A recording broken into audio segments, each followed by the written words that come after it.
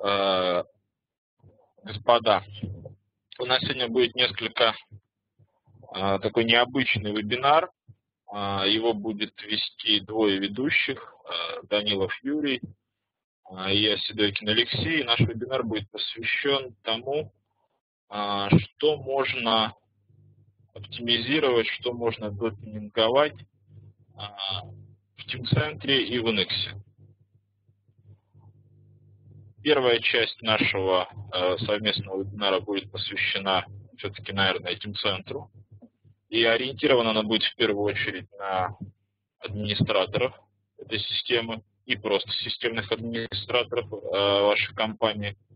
А вторая часть, которую будет вести мой коллега Юра Данилов, она будет посвящена э, использованию Unix в случае работы с большими сборками и вообще высоконагруженными какими-то элементами. А, соответственно, вторая часть доклада будет уже менее, так скажем, ориентирована на системных администраторов, а большая часть будет ориентирована на конструкторов и продвинутых конструкторов. Даю пополам, да, как коллега подсказывает. Итак, хорошо, давайте мы начнем. А, Первая часть нашего вебинара нам будет посвящена оптимизации Team-центра. Что можно здесь, что называется, после установки, а, до настроить, до улучшить. А, и в том числе эта информация будет полезна тем, а, кто только собирается разворачивать эту систему. Итак, зачем необходимо вести какую-то оптимизацию?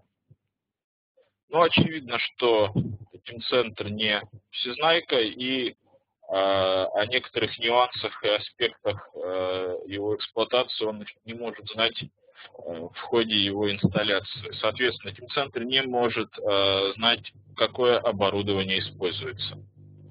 А Team-центр не может располагать информацией о том, с какими объемами данных вы собираетесь вести работу и какое количество одновременно работающих пользователей будет соединено с Team-центром.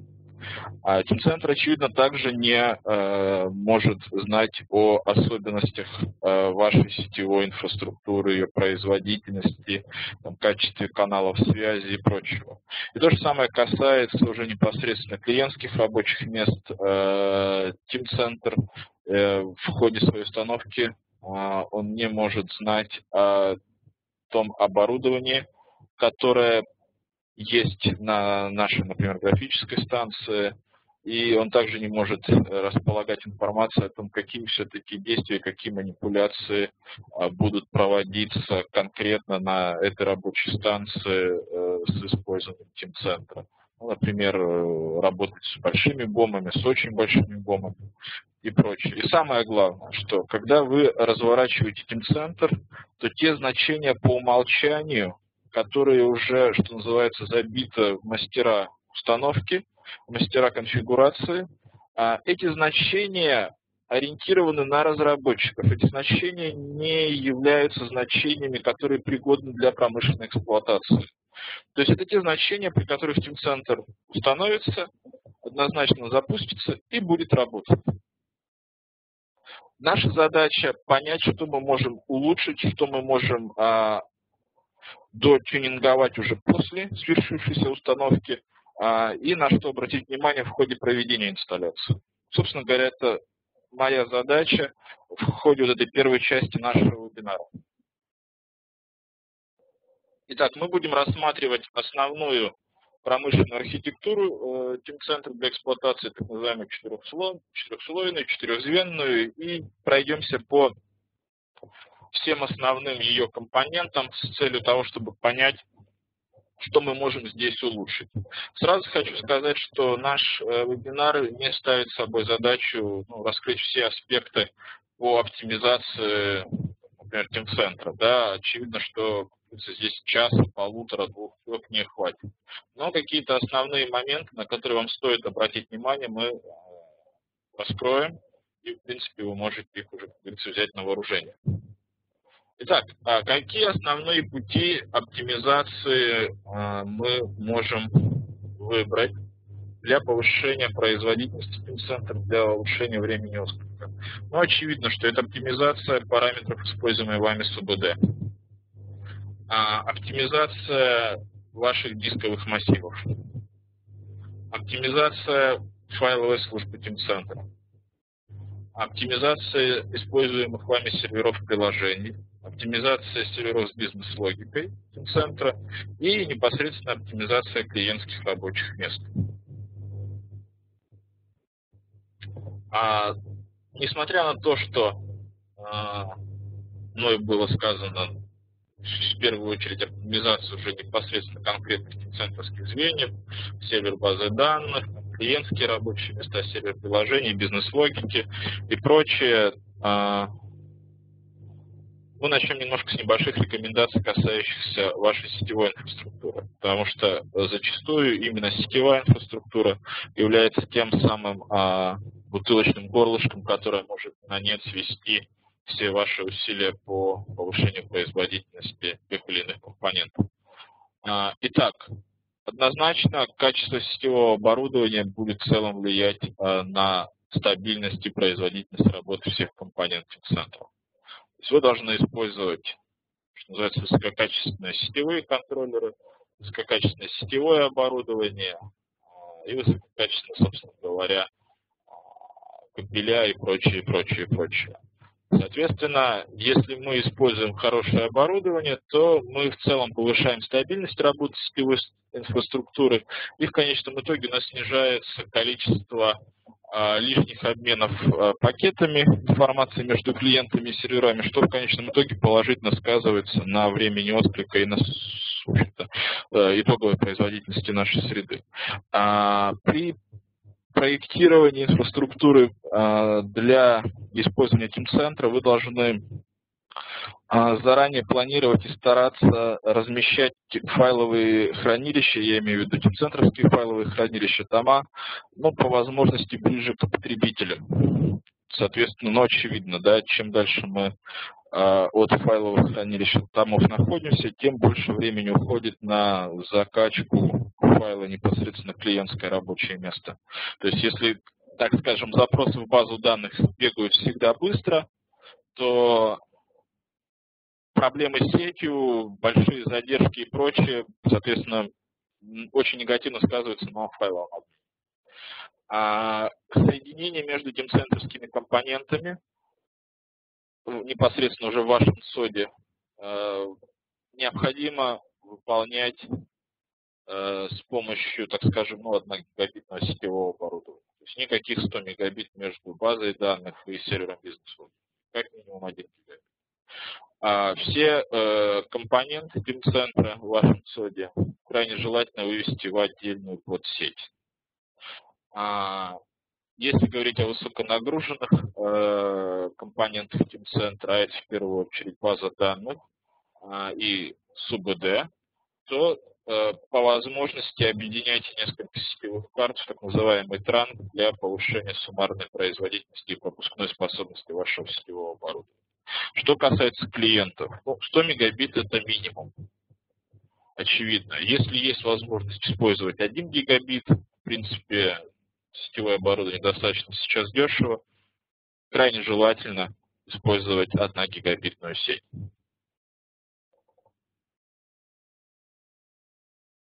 Да, я вот вижу ваши вопросы. Давайте я в конце уже непосредственно а, мы будем с Юрой отвечать.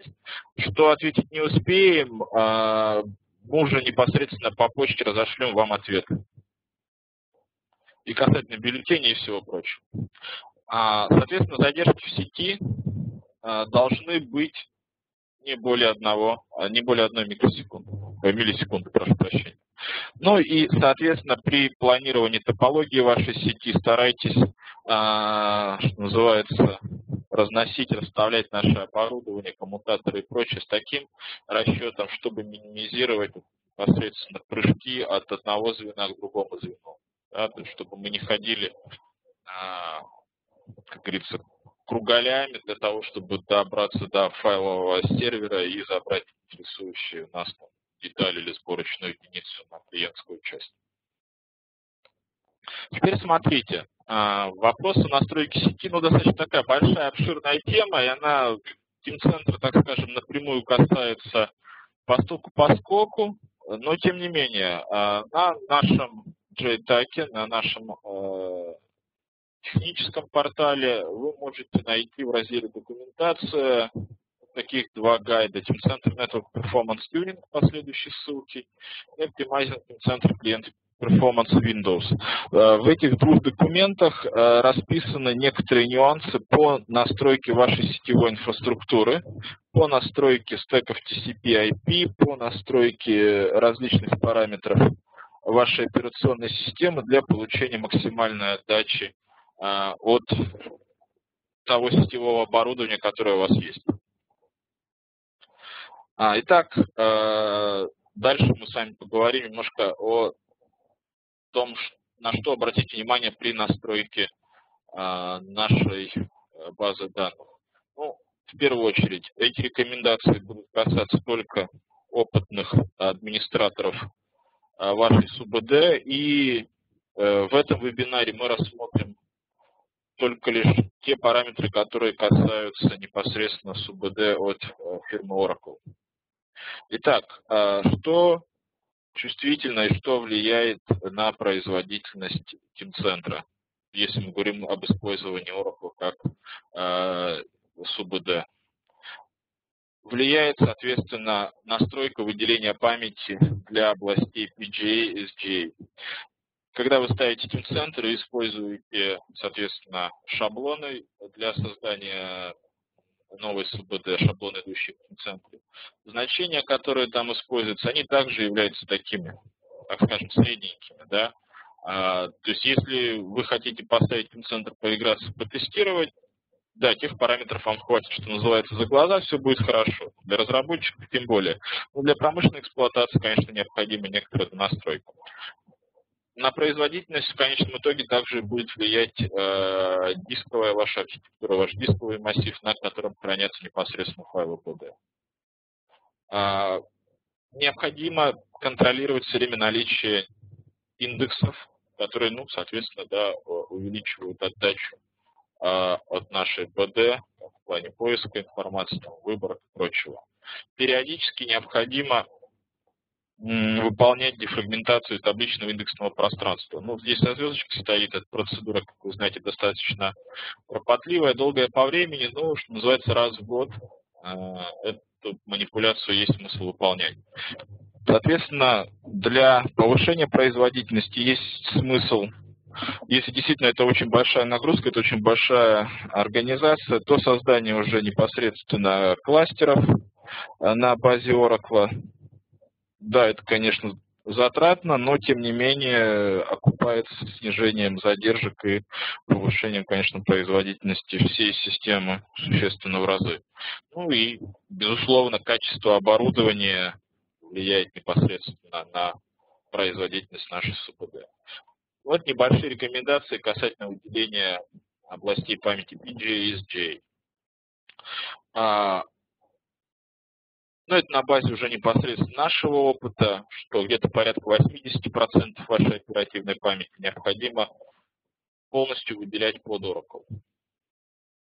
Соответственно, под кэш а, нашей PD мы выделяем порядка 80% э, от а, нашего Memory Max Target. И очень существенное влияние оказывает выделение области памяти PGA.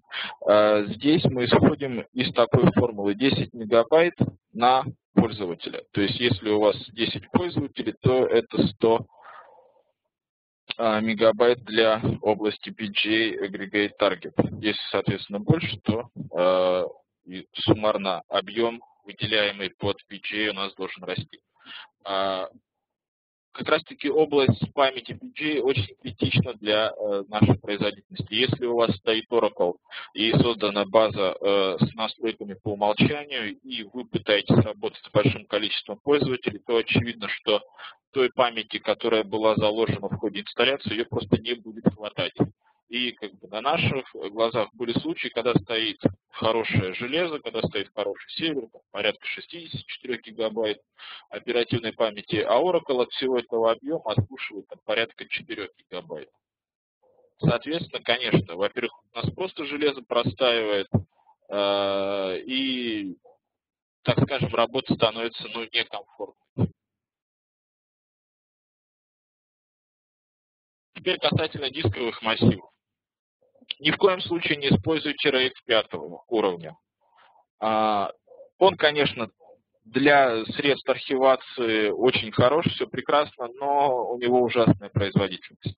Соответственно, не используйте пятый RAID ни при каких э, условиях для размещения файлов э, PD.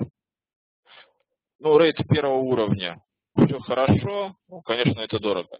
Оптимально это все-таки RAID 10 уровня, это оптимум и по цене, и по производительности.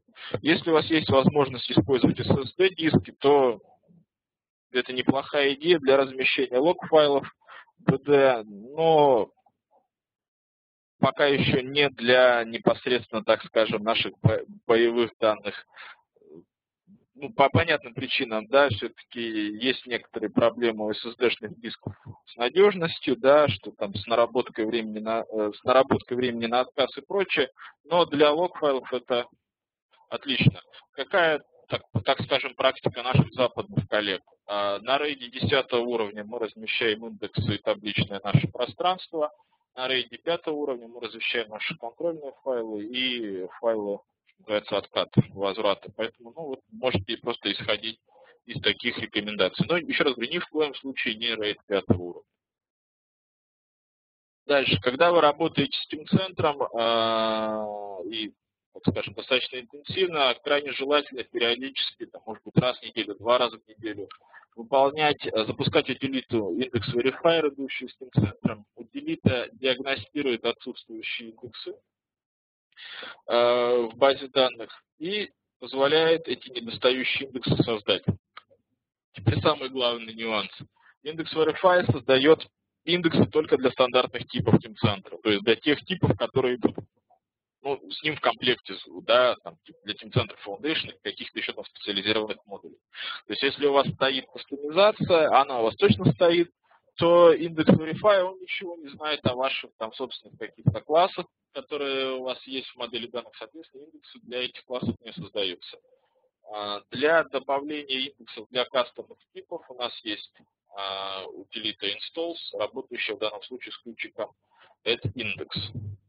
Ну, подробности, как это выполняется, соответственно, смотрим а, в гайде, идущем с центром Utilities Reference. А теперь, что можно улучшить в плане сетевых настроек э, в, случае использования Oracle? А, мы на сторону сервера в конфигурационный файл sqlnet.ora добавляем следующий параметр TCP .nodedelay равно yes и э, увеличиваем э, совместно э, буфер единиц данных, так называемый SDU. Также в SQLNet Ora, но на стороне сервера и клиента, ну клиент в данном случае это директория TC-Data, а мы добавляем следующую строчку. Default is the size и задаем значение 32767. Эти такие рекомендации идут уже от наших западных коллег, которые, называется, занимались оптимизацией и оракловой составляющей в контексте центра и имеют большой богатый опыт вообще работы с различными СУБД. Ну, с базой данных, как бы если краткое резюме, вы должны обратить внимание на память, в первую очередь на память, а, на дисковый массив, на котором размещены э, файлы вашей СУБД, ни в коем случае пятый рейд. И э, есть смысл поработать с сетевыми настройками, особенно с э, параметром SDU для увеличения производительности тим-центра, в частности при работе э, с большими бомбами. Теперь, что касается э, настройки файловой системы тим-центра. Вот сюда у нас относится и э, серверная часть, и клиентская часть, FCC и FCC. Соответственно, что у нас влияет на производительность файловой системы? Ну, очевидно, что это достаточно такое, так скажем, если говорить с точки зрения сетевой инфраструктуры, высоконагруженное звено. А, здесь у нас происходит непосредственно перекачка а, файлов разных по объему файлов, а учитывая, что если у нас идет многопользовательская работа, то, в общем такая достаточно высоконагруженная составляющая. И, соответственно, на производительность файловой системы будет влиять производительность вашей сети.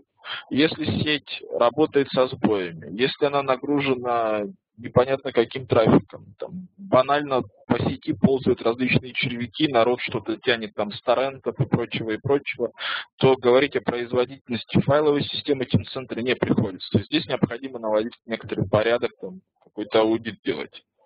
Соответственно, производительность дисковой системы также оказывает существенное влияние. Ну, про производительность оборудования, думаю, понятно, что э, файловые сервера Team-центра должны обладать достаточной производительностью там, с точки зрения э, процессоров, достаточным объемом оперативной памяти для того, чтобы, ну, во-первых, процессор будет влиять на э, скорость обработки сетевого трафика. То есть мы можем использовать хорошие, классные, дорогие сетевые контроллеры, но если наши процессора будут достаточно слабенькие, то мы не получим а, той ожидаемой отдачи, которую хотели бы видеть.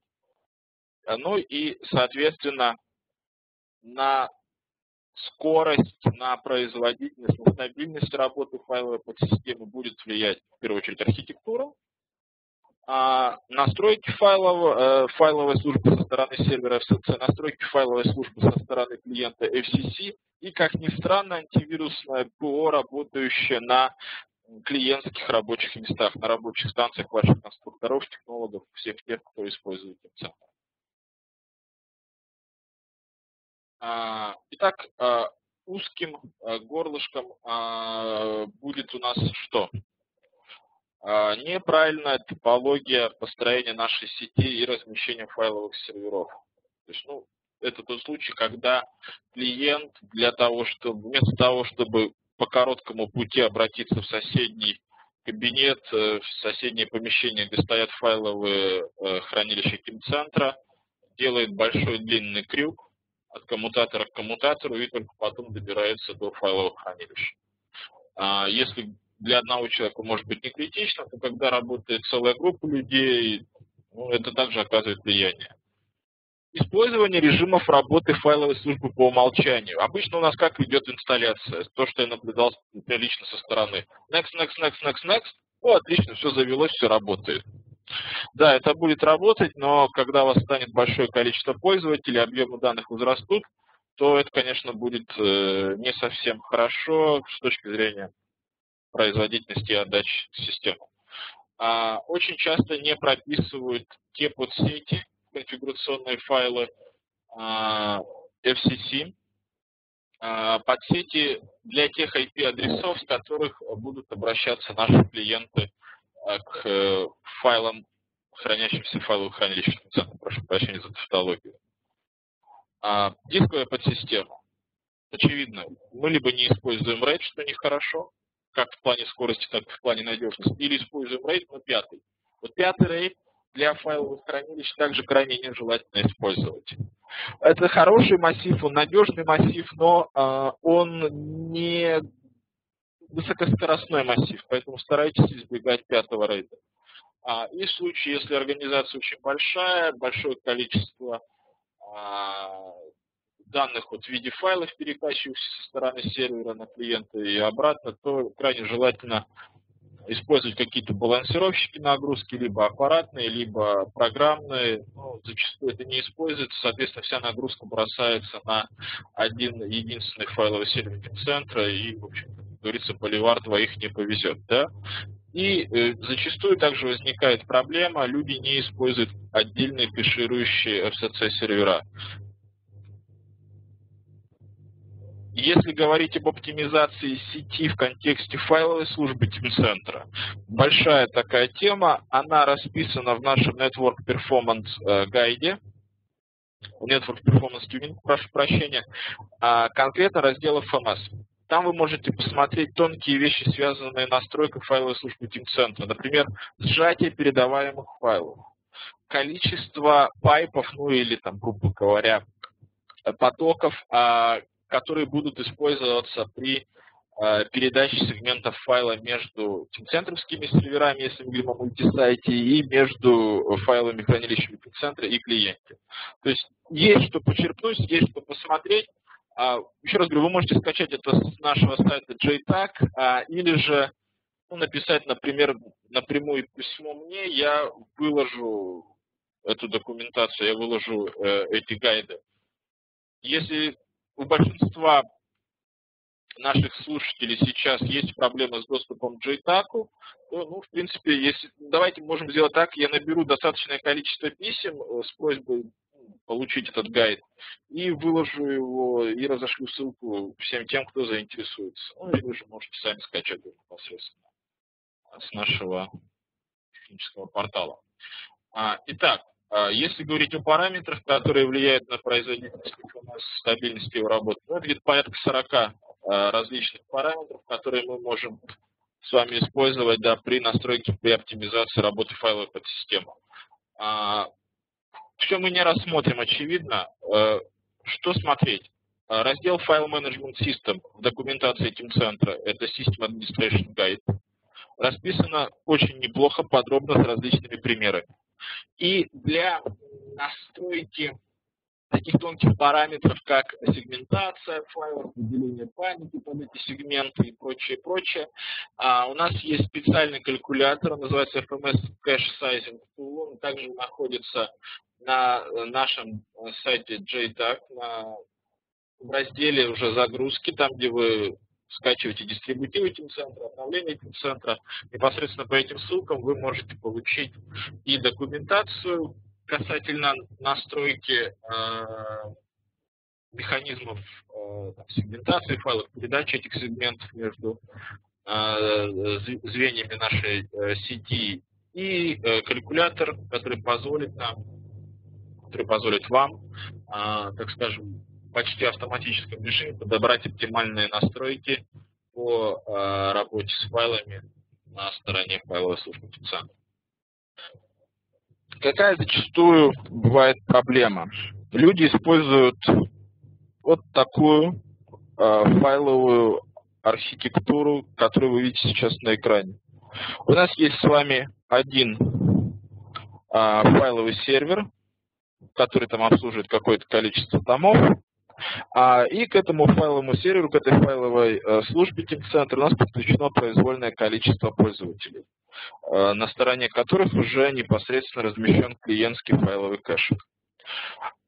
Эта архитектура, она хороша, но она хороша для небольших а, организаций. А она хороша в случае, если у нас не очень интенсивный по частоте и не очень громоздкий по объему вот этот вот сетевой файловый трафик. Для больших а, организаций или же организаций, где трафик, где трафик именно файловый очень велик или интенсивен, эта архитектура, ну, так скажем, не совсем удачная. Но ее используют, потому что она идет, как говорится, как дефолтная архитектура по умолчанию, опять-таки next, next, и все готово. А, чуть дальше я скажу, что можно в этом случае тоже оптимизировать, что повлияет суммарно на нашу производительность в лучшую сторону. Ну и в частности, вот чуть дальше я вам расскажу о, о других возможных вариантах архитектуры. Итак, а, с чего можно начать? По умолчанию, если вы ставите центр вот по дефолту next, next, next, next, next, то размер файлового кэша, клиентского файлового кэша, как раз таки а, того участка, где происходит кэширование а, загружаемых а, файлов из Team-центра. Но если мы будем говорить все-таки о конструкторских, технологических делах, то это наши детали сборки. А, кэширование происходит на каждой клиентской машине индивидуально. По умолчанию э, этот кэш имеет размер в 1 гигабайт. 1000 мегабайт, да? Соответственно, когда пользователь работает с большими сборками, периодически что-то открывает и прочее, прочее, у него вот есть этот э, бассейн, э, у него есть этот бассейн в размере 1 гигабайта, э, внутри которого хранятся наши сборки.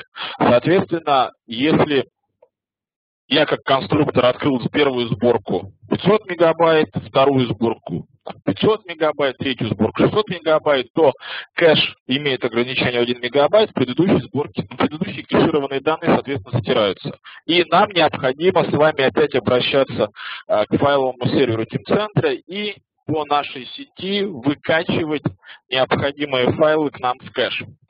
А, соответственно, хорошей идеей будет увеличить размер этого кэша.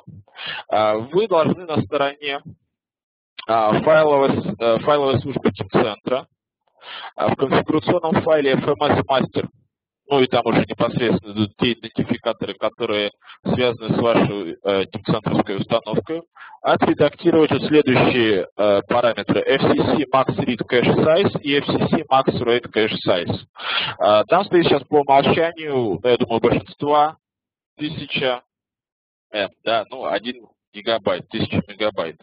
Соответственно, прикиньте, сколько в среднем занимают там, э, по размеру ваши сборки. Это первый вариант, э, из которого, от которого можно оттолкнуться при задании этих значений. Другой вариант – дать столько места, сколько не жалко. Если у пользователя на дисках, на его э, рабочей станции есть достаточное место, там 10-20 гигабайт, вы можете спокойно этот размер увеличить, например, до 15 гигабайт, для того, чтобы пользователь при работе со сборками, при работе с большими сборками а, меньше обращался к файловому серверу TeamCenter, сокращал э, нагрузку на сетевую инфраструктуру, на файловые хранилища TeamCenter и открывал уже файлы непосредственно локально своей машины. Не надо переживать, что данные там могут устареть или мы работаем с устаревшими данными. Такого не может произойти. При открытии файлов э, Team сначала опрашивает э, непосредственно уже сервер на предмет, а вот эти файлы, которые наш пользователь открывает, они изменились или нет? И в случае, если те файлы, к которым сейчас пользователь обращается, ну, какие-то, например, детали, входящие в сборку, они были изменены, то только эти файлы э, подтянутся в локальный файловый кэш пользователя. Не, не весь массив сборки, да, а только измененные файлы. Соответственно, это ну, достаточно такая легкая и не, нагруж... и не а, ресурсоемкая задача. Соответственно, фактически сборка будет открываться э, с локального диска пользователя, э, ну, с учетом тех изменений, которые произошли там, за какой-то промежуток времени. После того, как вы отредактируете эти параметры, вам на стороне, опять-таки, этим центровского сервера необходимо будет выполнить ту команду, которая представлена ниже, fcc-admin-bat, а, и перезагрузить а, наши конфигурационные файлы на стороне клиентов. А, когда вы разворачиваете Team Center и разворачиваете клиентские места, по умолчанию стоит режим, что настройки файловых а, клиентских кэшей на рабочих станциях пользователей, параметры работы этих компонентов будут считываться как раз-таки с сервера будут считываться как раз-таки сервера из конфигурационного файла FMS Master.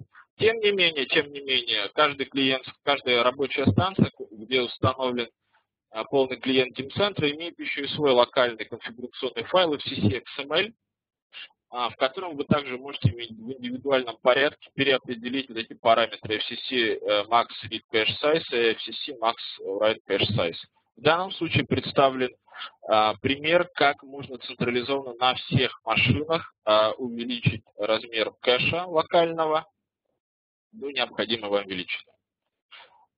Соответственно, архитектур по разворачиванию файловой э, службы TeamCenter более чем достаточно. Это лишь то, что у меня было под рукой. Это взято, соответственно, из гайда официальной документации. А, их там, я думаю, также, ну, наверное, еще один так, такой листик с таким же количеством различных вариаций. Что есть смысл попробовать использовать? А, вывести отдельный кэширующий э, файловый сервер. А, причем а, этот кэширующий файловый сервер неплохо построить с использованием SSD-дисков а, достаточного объема. Сейчас, слава богу, они дешевеют, уже и терабайтные, по-моему, появились SSD-шные диски. В принципе, да я думаю, через какое-то время они еще сильнее подешевеют, действительно можно будет их использовать в полный рост. Ну или же использовать что-то на быстрых рейдерских массивах.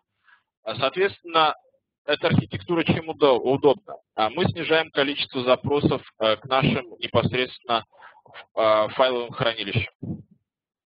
Наш кэширующий файловый сервер будет, что называется, скапливать в себе весь тот необходимый объем информации, с которой работают наши клиенты. Соответственно, а, мы можем использовать такую архитектуру еще и с некоторой долей автоматизации, когда, например, по ночам по определенному расписанию наш кэширующий файловый сервер будет уже наполняться обновленной информацией из наших файловых хранилищ. То есть появились какие-то новые сборки, появились какие-то просто новые файлы, и за ночь э, э, эти данные перекочевываются из файловых хранилищ в наш кэширующий файловый сервер. Соответственно, мы к нему дальше уже обращаемся со стороны клиентов, где данные также кэшируются уже в локальных файловых кэшах клиентов. То есть а, чтобы вы понимали, наша основная задача сделать так, чтобы как можно э, меньше мы гоняли файлы по нашей сети. Э, соответственно, по возможности мы кэшируем их ну, где только можно, для того, чтобы сократить время отклика. И вы должны также стараться вот идти по этому пути. Соответственно, тогда работать с большими сборками, со всем прочим становится более комфортно. Я думаю, многие замечали.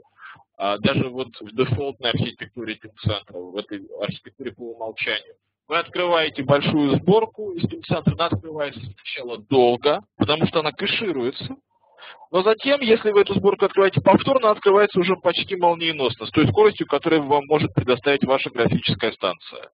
И вот наша задача, чтобы у вас эти сборки, те файлы, с которыми вы работаете, открывались как можно более быстрее. И для случая, если у нас есть какой-то удаленный офис, ну, например, э, там, головное предприятие в городе, там какой-нибудь э, там, филиал в пригороде, или же наоборот, не принципиально, то здесь есть смысл э, использовать уже два кэширующих сервера. Один кэширующий сервер на стороне, например, головного предприятия, а другой кэширующий сервер уже непосредственно в филиале. И э, также, используя э, механизмы фонового наполнения наших кэшей, можно по расписанию э, перекачивать файлы из кэша, например, головного предприятия уже по интернету непосредственно в кэш э, нашей какой-то удаленной площадки. Соответственно, пользователи, которые там из пригорода, работающие в пригороде, будут обращаться э, к тим-центру, то ну, запросы к самой СУБД, они маленькие, короткие, они проходят быстро – а запросы уже непосредственно к файлам на их открытие будут э, черпаться из локального кэш-буфера, уже ну, удаленной нашей площадки. Да? Но э, если Team увидит, что э, за какой-то промежуток времени данные, ну, имеется в виду файлы в данном случае, были изменены на стороне головного предприятия, тогда да, и, и именно эти файлы, там, измененные файлы, они заново закэшируются на удаленной нашей площадке, и пользователь их уже откроет, заберет. Это будет касаться всех остальных пользователей, которые хотят работать с этим файлом. Плюс при перекачке э, файлов через э, интернет э, файловые службы TeamCenter позволяют использовать э, механизмы по сжатию трафика, э, по настройке количества использования потоков, так называемых пайпов, для того, чтобы максимально использовать пропускную способность канала. Э, в довесок, используя эти механизмы, связанные с повышением производительности э, файлов э, от кэширующего сервера к кэширующему серверу в связке с, фоновым, с фоновой передачей новых каких-то обновленных файлов, например, по ночам между этими кэширующими серверами, в общем-то, поднимут существенно в разы и производительность вашей работы, и, в общем-то, комфорт для ваших сотрудников. А теперь смотрите, антивирусное ПО. А, ну, без него никуда, но и с ним не всегда все бывает гладко. А, я вижу ваши вопросы. Я чуть позже отвечу. Я просто не хочу сейчас отвлекаться, извините. Смотрите, антивирусное ПО. А, оно, как правило, работает у нас, называется, фоном на лету. Соответственно, начинает проверять все те обращения к нашим дискам, все обращения к файлам и прочее, прочее. Это сжирает наше время э, и доставляет некоторые неудобства. Соответственно, первым делом, что нужно сделать? А, директорию XTC кэш на клиентском рабочем месте и ее поддиректорию, ее содержимое добавить в список игнорируемых вашим антивирусом. И а, в первую очередь добавить следующее расширение файлов PRT, GT, FEM, HSH, MF и SEC в список игнорируемых вашим антивирусом. Когда вы это сделаете, вы заметите разницу, особенно при работе с большими сборками. Вы увидите, что ваш используемый вами антивирус уже теперь не набрасывается на открываемую вами сборку, и, в общем-то, это существенно сказывается на производительности и на скорости работы. То же самое касается фаерволов. Те порты, которые использует Team Center, их также есть смысл поставить в список игнорируемых, чтобы не, э, как говорится, тратить время э, на проверку трафика, идущего с Team. Теперь касательно организации томов нашей файловой системы. По умолчанию, когда вы разворачиваете Team Center, создается один единственный том, Volume 1. Этот том, он, в общем-то, изначально ориентирован, ну, так скажем, ну, на разработчиков, опять-таки, на какие-то тесты, ну и плюс он должен быть, да. А, соответственно, не надо его использовать. Ну, как вы его можете использовать, но не рекомендуется. Создайте свои необходимые тома, а, разместите эти тома на быстрых рейдерских массивах. А, хороший вариант это 10 рейд, опять-таки ни в коем случае пятый рейд, никогда. А можете использовать, если есть возможность, высокопроизводительные, профессиональные решения для хранения файлов, какие-то там NAS или SAN, соединенные высокоскоростной шины непосредственно с файловым сервером TeamCenter. А, и а, есть смысл есть смысл использовать механизм, а, описанный в гайде Volume Management, Volume Management Guide, который что позволяет нам организовать. Центр может анализировать, как часто пользователи обращаются к тому или иному файлу. Ну, вот, естественно, с какой-то там, я не знаю, там, какой-то сборкой, которой обращались последний раз год назад. Так вот, центр позволяет а, те файлы, к которым обращались не часто, ну, или к которым обращались крайне давно, автоматически перемещать с одного тома на другой том. То есть у вас может быть, так скажем, горячий том а, на первом рейде или на десятом рейде, дорогой, высокоскоростной, прекрасный. Но может случиться такое, но рано или поздно случится, что этот том будет забит, а, в частности, теми файлами, которыми обращаются раз в полгода. Как раз вот эта технология, этот механизм управления томами позволяет те файлы, которые э, редко востребованы, переместить их на более медленное хранилище. В свою очередь, когда э, Team Center выявит, что к этим файлам стали обращаться чаще, ну это все, соответственно, настраивается, вновь ставшие файлы популярными перемещены на более высокоскоростной том. Это делается автоматом в фоне.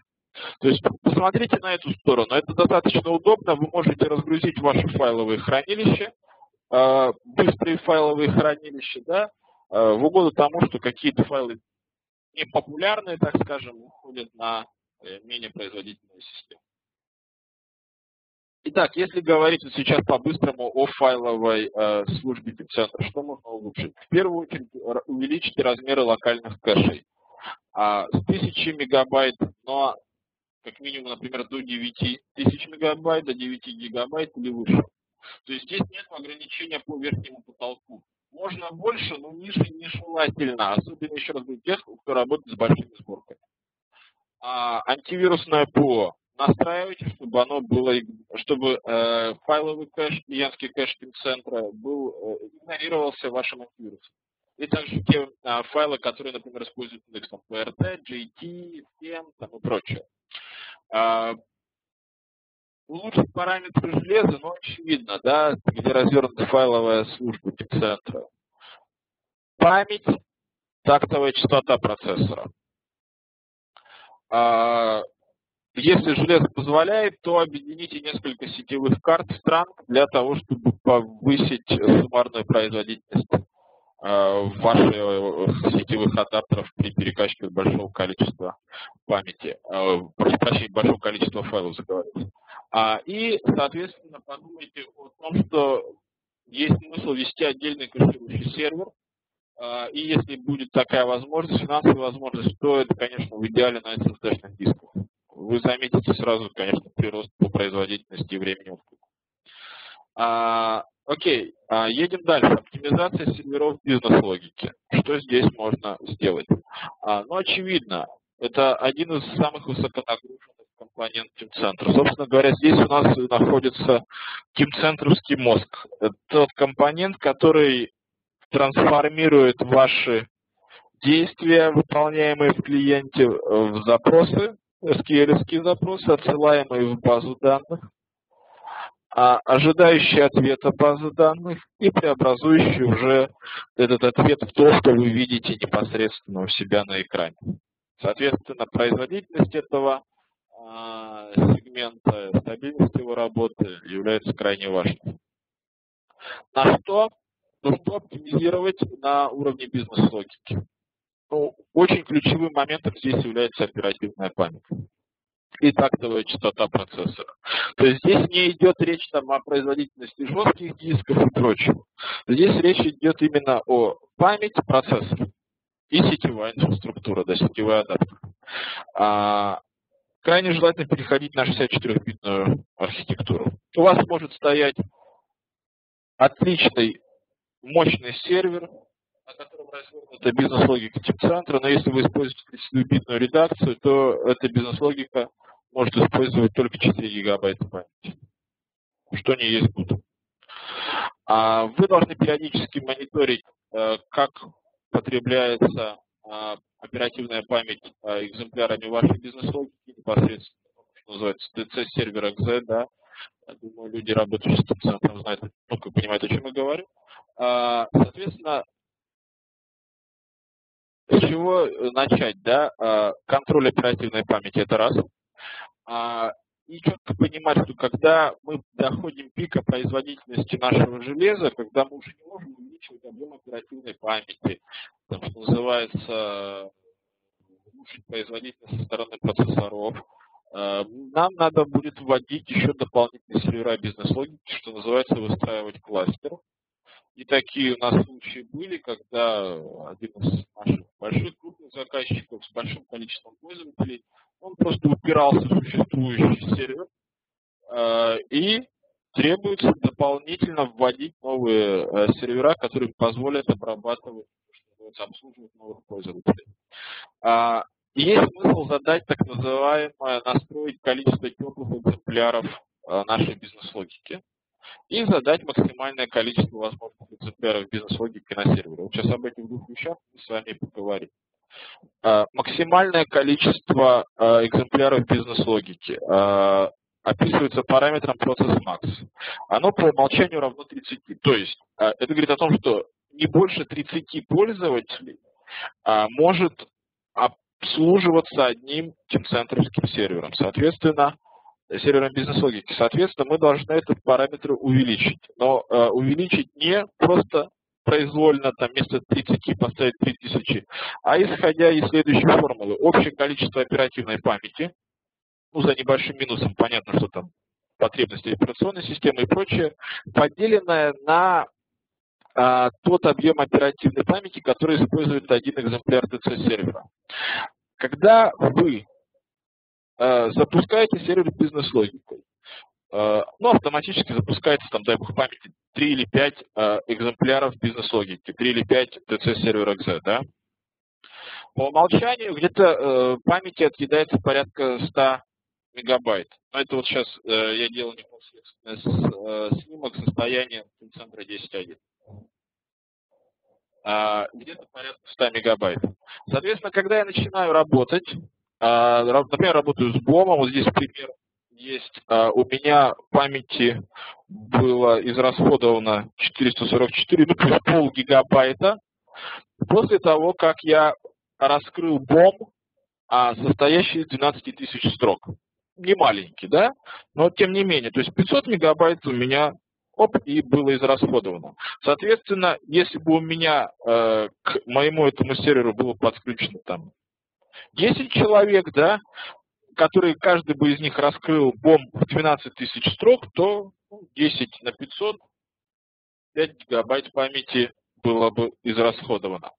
Соответственно, при задании от максимального количества экземпляров бизнес-логики вы должны а, понаблюдать в периоды пиковой нагрузки, там, сдачи там, документации и прочее, но у каждого, да, что называется, свой Аврал, понаблюдать, э, как расходуется память экземплярами TC сервера XZ. И уже после этого, прикинув, э, что называется, рассчитать это значение process max, сколько максимально мы здесь можем обслуживать пользователя. Если говорить о кластере, то этот параметр влияет на что? У нас есть два э, физических сервера, на которых развернута бизнес-логика. Как только на первом сервере доходит э, значение максимальных экземпляров TC-сервера, максимального количества экземпляров бизнес-логики до потолка, э, пользователи перебрасываются на другой сервер с свободным э, от загрузки. А теперь смотрите, касательно так называемых теплых экземпляров бизнес-логики. Что это такое? А, когда мы с вами запускаем сервер с бизнес-логикой центр, автоматически запускается некоторое количество э, процессов TC-сервера XZ, некоторое количество этих экземпляров э, нашей бизнес-логики. Соответственно, на что это оказывает влияние? Ну, допустим, представим себе такую ситуацию. Там, в 8 утра пользователи приходят, начинают авторизовываться в центре. Как осуществляется этот механизм? Пользователь вводит свой логин и пароль. А он, соответственно, переправляется на сторону бизнес-логики, на сторону пул-менеджера, прошу прощения, который управляет да, раздачей наших э, ТЦ-серверов. Тот, что смотрит, он смотрит, если у нас сейчас запущенный какой-то ТЦ-сервер XZ, который не ассоциирован ни с каким пользователем. Если такой имеется, э, это свободный ТЦ-сервер XZ, будет ассоциирован с тем пользователем, который хочет войти в Team-центр. А, соответственно, если у нас это значение стоит по умолчанию, э, там, по-моему, это 5 все-таки, могу, честно говоря, ошибаться, 5, 5 теплых ТЦ-серверов с утра, заходит 50 пользователей, начинает авторизовываться, первые 5 пользователей, э, первые 5 пользователей заходят молниеносно, остальные будут находиться в некотором ожидании, пока э, пул-менеджер э, Team-центра, менеджер серверов бизнес-логики, запустит новые экземпляры и отдаст их пользователю. Соответственно, играя с параметром process target, а, мы можем с вами задать, какое количество тепленьких, так скажем, экземпляров э, бизнес-логики у нас уже будет запущено. Формат там очень простой. Например, 0.7, 2.0.3 07203,17002. Это говорит о том, что с 7 утра по 5 вечера у нас будет всегда иметься там 3 теплых сервера. Мы можем, соответственно, здесь пойти следующим образом. 070050, там 12, там еще сколько-то добавить 00 и прочее, прочее, так поднимать, а потом, например, на 6 или на 7 вечера э, задать там уже маленькое небольшое значение, например, 5-10 для того, чтобы освободилась память, ну и меньше потреблялось процессора на времени и прочее, прочее. Соответственно, количество теплых серверов а, есть смысл задавать как пропорцию 1 третья от суммарного количества возможных экземпляров TC-сервера. 1 третья от процесса макса. Тоже достаточное количество параметров, отвечающих за режимы работы бизнес-логики центра, порядка более чем 20. Я так насчитал, мог немножко ошибиться в сторону минуса, что-то пропустить. А, используем System Administration Guide, раздел сервер Manager. Большое количество информации, есть на что посмотреть а, и что взять, что называется, как пищу для размышления. Периодически контролируйте состояние вашей бизнес-логики. Если вы используете э, технологию J2E, то для того, чтобы обратиться к консоли менеджера серверов бизнес-логики. Следующий адрес, имя сервера, э, имя сервера бизнес-логики и порт 8082. Если вы используете архитектуру на базе технологии .NET, то, соответственно, э, такой адрес, который представлен сейчас на нашем слайде. Вы можете посмотреть оперативную информацию, получить, какое количество серверов находится в активной работе, какие простаивают, которые, какие являются уже, что называется, мертвыми, там, сеть оборвалась и прочее. Теперь идем дальше. Что касается тюнинга серверов приложений. Ну, здесь тоже все достаточно просто. А, мы должны оптимизировать количество, используя оперативной памяти, использование ЦПУ, а сетевую инфраструктуру, а, также стоит на нее обратить внимание, использование балансировщиков нагрузки для, да, что называется, а, распределения загрузки между различными нашими э, серверами приложений и использование, соответственно, пулов, которые позволят нам, называется, раскидать нагрузку между различными серверами более гибко. Соответственно, вы можете использовать технологии либо J2E, либо на .NET. Если мы говорим о J2E, то, соответственно, чуть сложнее в настройке, но гораздо больше возможностей по оптимизации. Если мы используем .NET, то все достаточно просто в установке, но и чуть меньше параметров, чуть меньше режимов, которые позволят нам произвести тонкую настройку сервера приложений. Итак, э, из чего мы исходим? Нам необходимо несколько многоядерных процессоров для того, чтобы э, поддерживать большое количество коротких соединений, которые идут от сервера приложений к серверу бизнес-логики. А как минимум 8 гигабайт оперативной памяти для обслуживания 400 пользователей. Это такое среднее значение. Соответственно, а, скорость между обменом между сервером приложения и сервером бизнес-логики минимум 1 гигабит. Э, желательно использовать опять-таки эти сетевые транки а, и, э, соответственно, два сетевых адаптера на сервер приложений. Один сетевой адаптер должен смотреть в сторону клиентских рабочих мест, другой сетевой адаптер должен смотреть в сторону сервера бизнес-логики. Соответственно, вот эти два сетевые адаптера, они могут быть по факту состоять из двух сетевых карт, да, вы понимаете, о чем я говорю, объединенных в транк.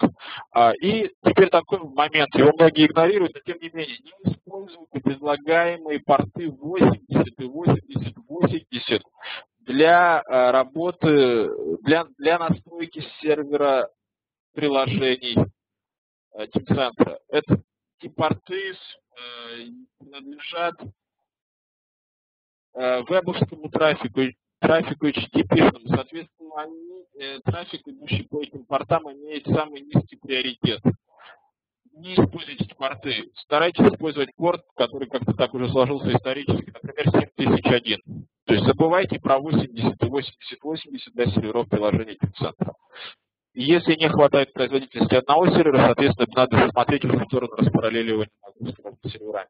Итак, а, в данном случае я скажу, что можно на быструю руку а, улучшить а, в сервере приложения на базе JBoss. Ну, к слову говоря, эта рекомендация с, как говорится, поправкой на ветер может подойти и для остальных серверов приложений, построенных э, на базе технологии J2E, например, для Tomcat а, или для WebLogic.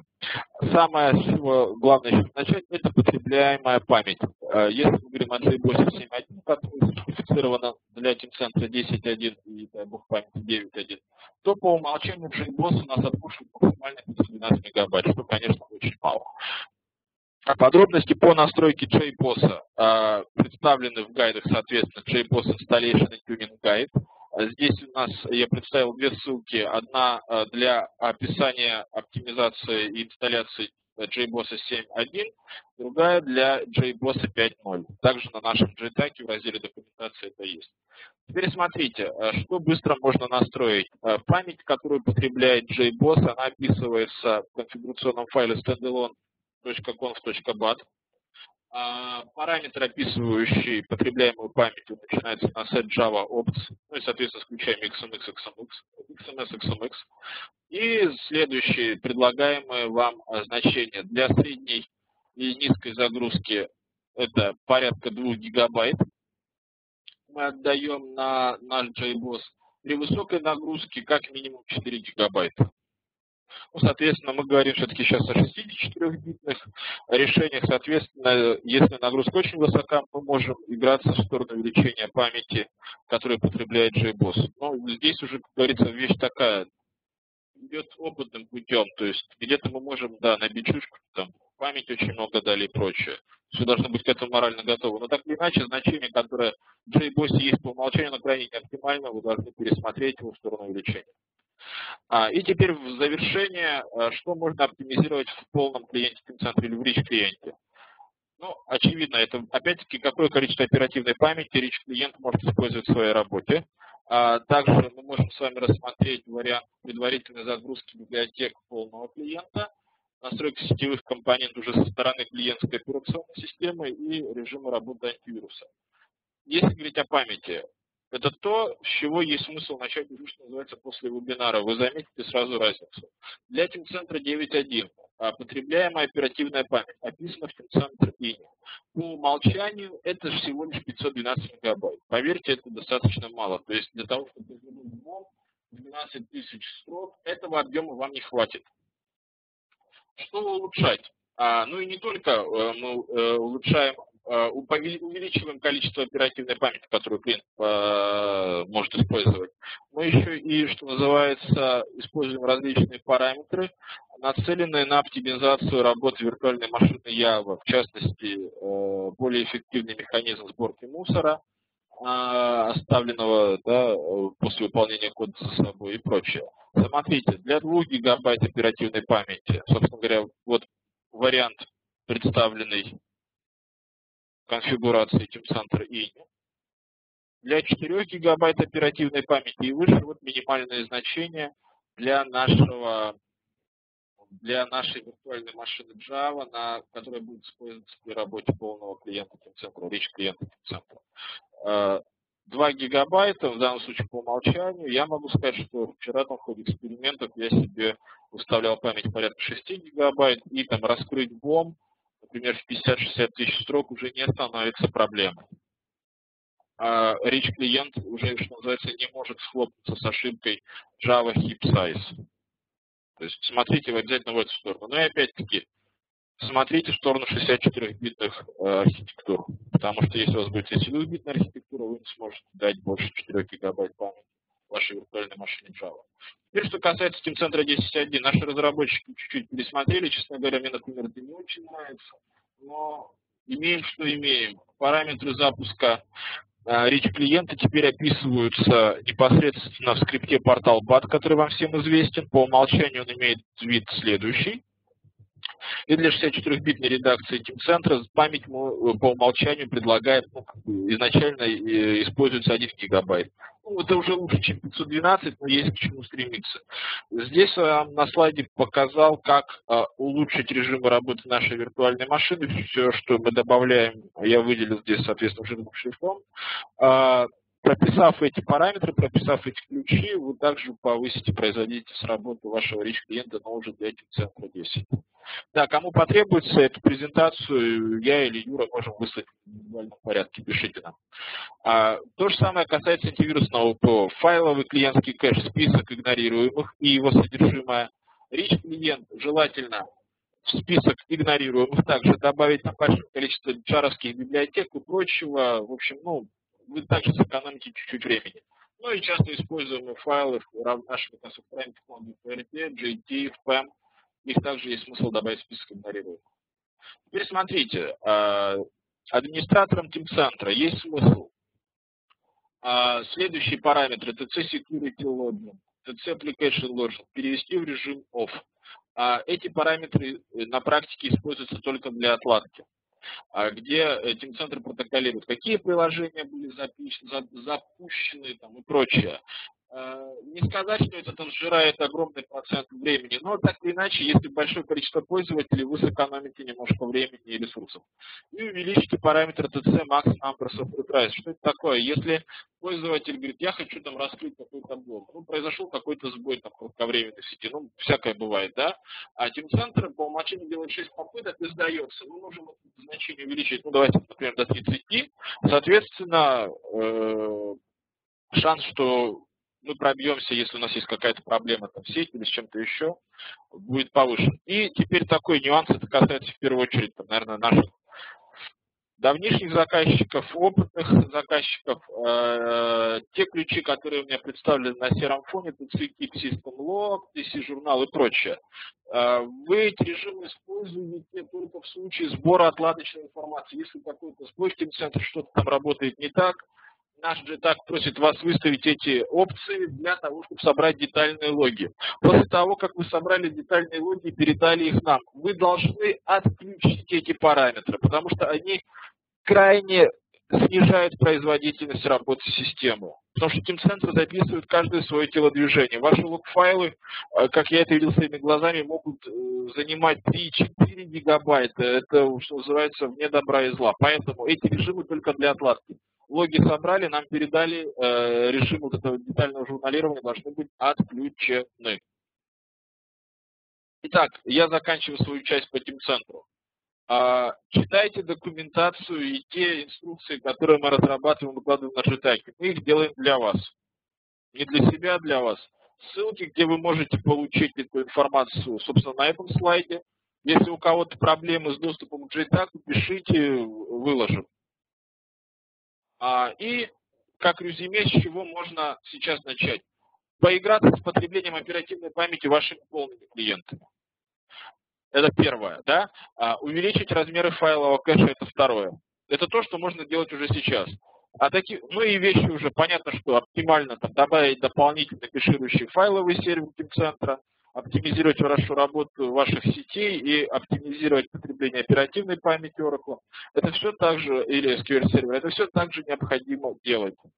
Но если первые два пункта, что называется, можно сделать, так скажем, администратору средней руки, то в частности там оптимизация оперативной памяти, оптимизация памяти, которую потребляет Oracle, ну, нужно делать, как говорится, осторожно, аккуратно и опытному ДБА. Итак, на этом моя часть по центру закончена. Всем спасибо за внимание. Но мы не расходимся. Сейчас эстафету перенимает мой товарищ и коллега Данила Фьюр, и он вам расскажет, что там можно поулучшать в Unix для того, чтобы все работало еще лучше, чем есть. Всем спасибо за внимание. Микрофон Юрий. Добрый день. Надеюсь, у нас звук не пропал. Так, у нас, у нас здесь в чате вопросов много. Мы сейчас вот закончим эту остаток презентации, дойдем, а потом уже ответим на вопросы. Собственно, по NX, как бы я хочу рассказать, как работают некоторые механизмы в самом NX, что творится под капотом. Я когда готов, готовил как бы, вот, этот материал, я исходил из того, что у нас будет аудитория, которая использует разные версии NX. Но как бы слайды, которые будут показаны, ориентированы в основном как бы на основе версии 8.5. 8.5 она сейчас где-то примерно по середине находится с точки зрения изменений, которые проводятся между восьмеркой и девяткой восьмерка, 8.5 и 9, она, эти, эти релизы, они достаточно, ну, скажем так, не кардинально, достаточно сильно отличаются в плане того, что там под капотом творится. Но как бы вот 8.5 можно взять как некий, некий средний. Соответственно, у вас может быть некотор, возникать некоторые нюансы, отлично от того, что я сейчас расскажу, но я как бы постараюсь все вспомнить и упомянуть. Ну, собственно, что я хочу на чем я хочу остановиться? Я хочу сказать, когда и какие факторы влияют на работу пользователя в NX.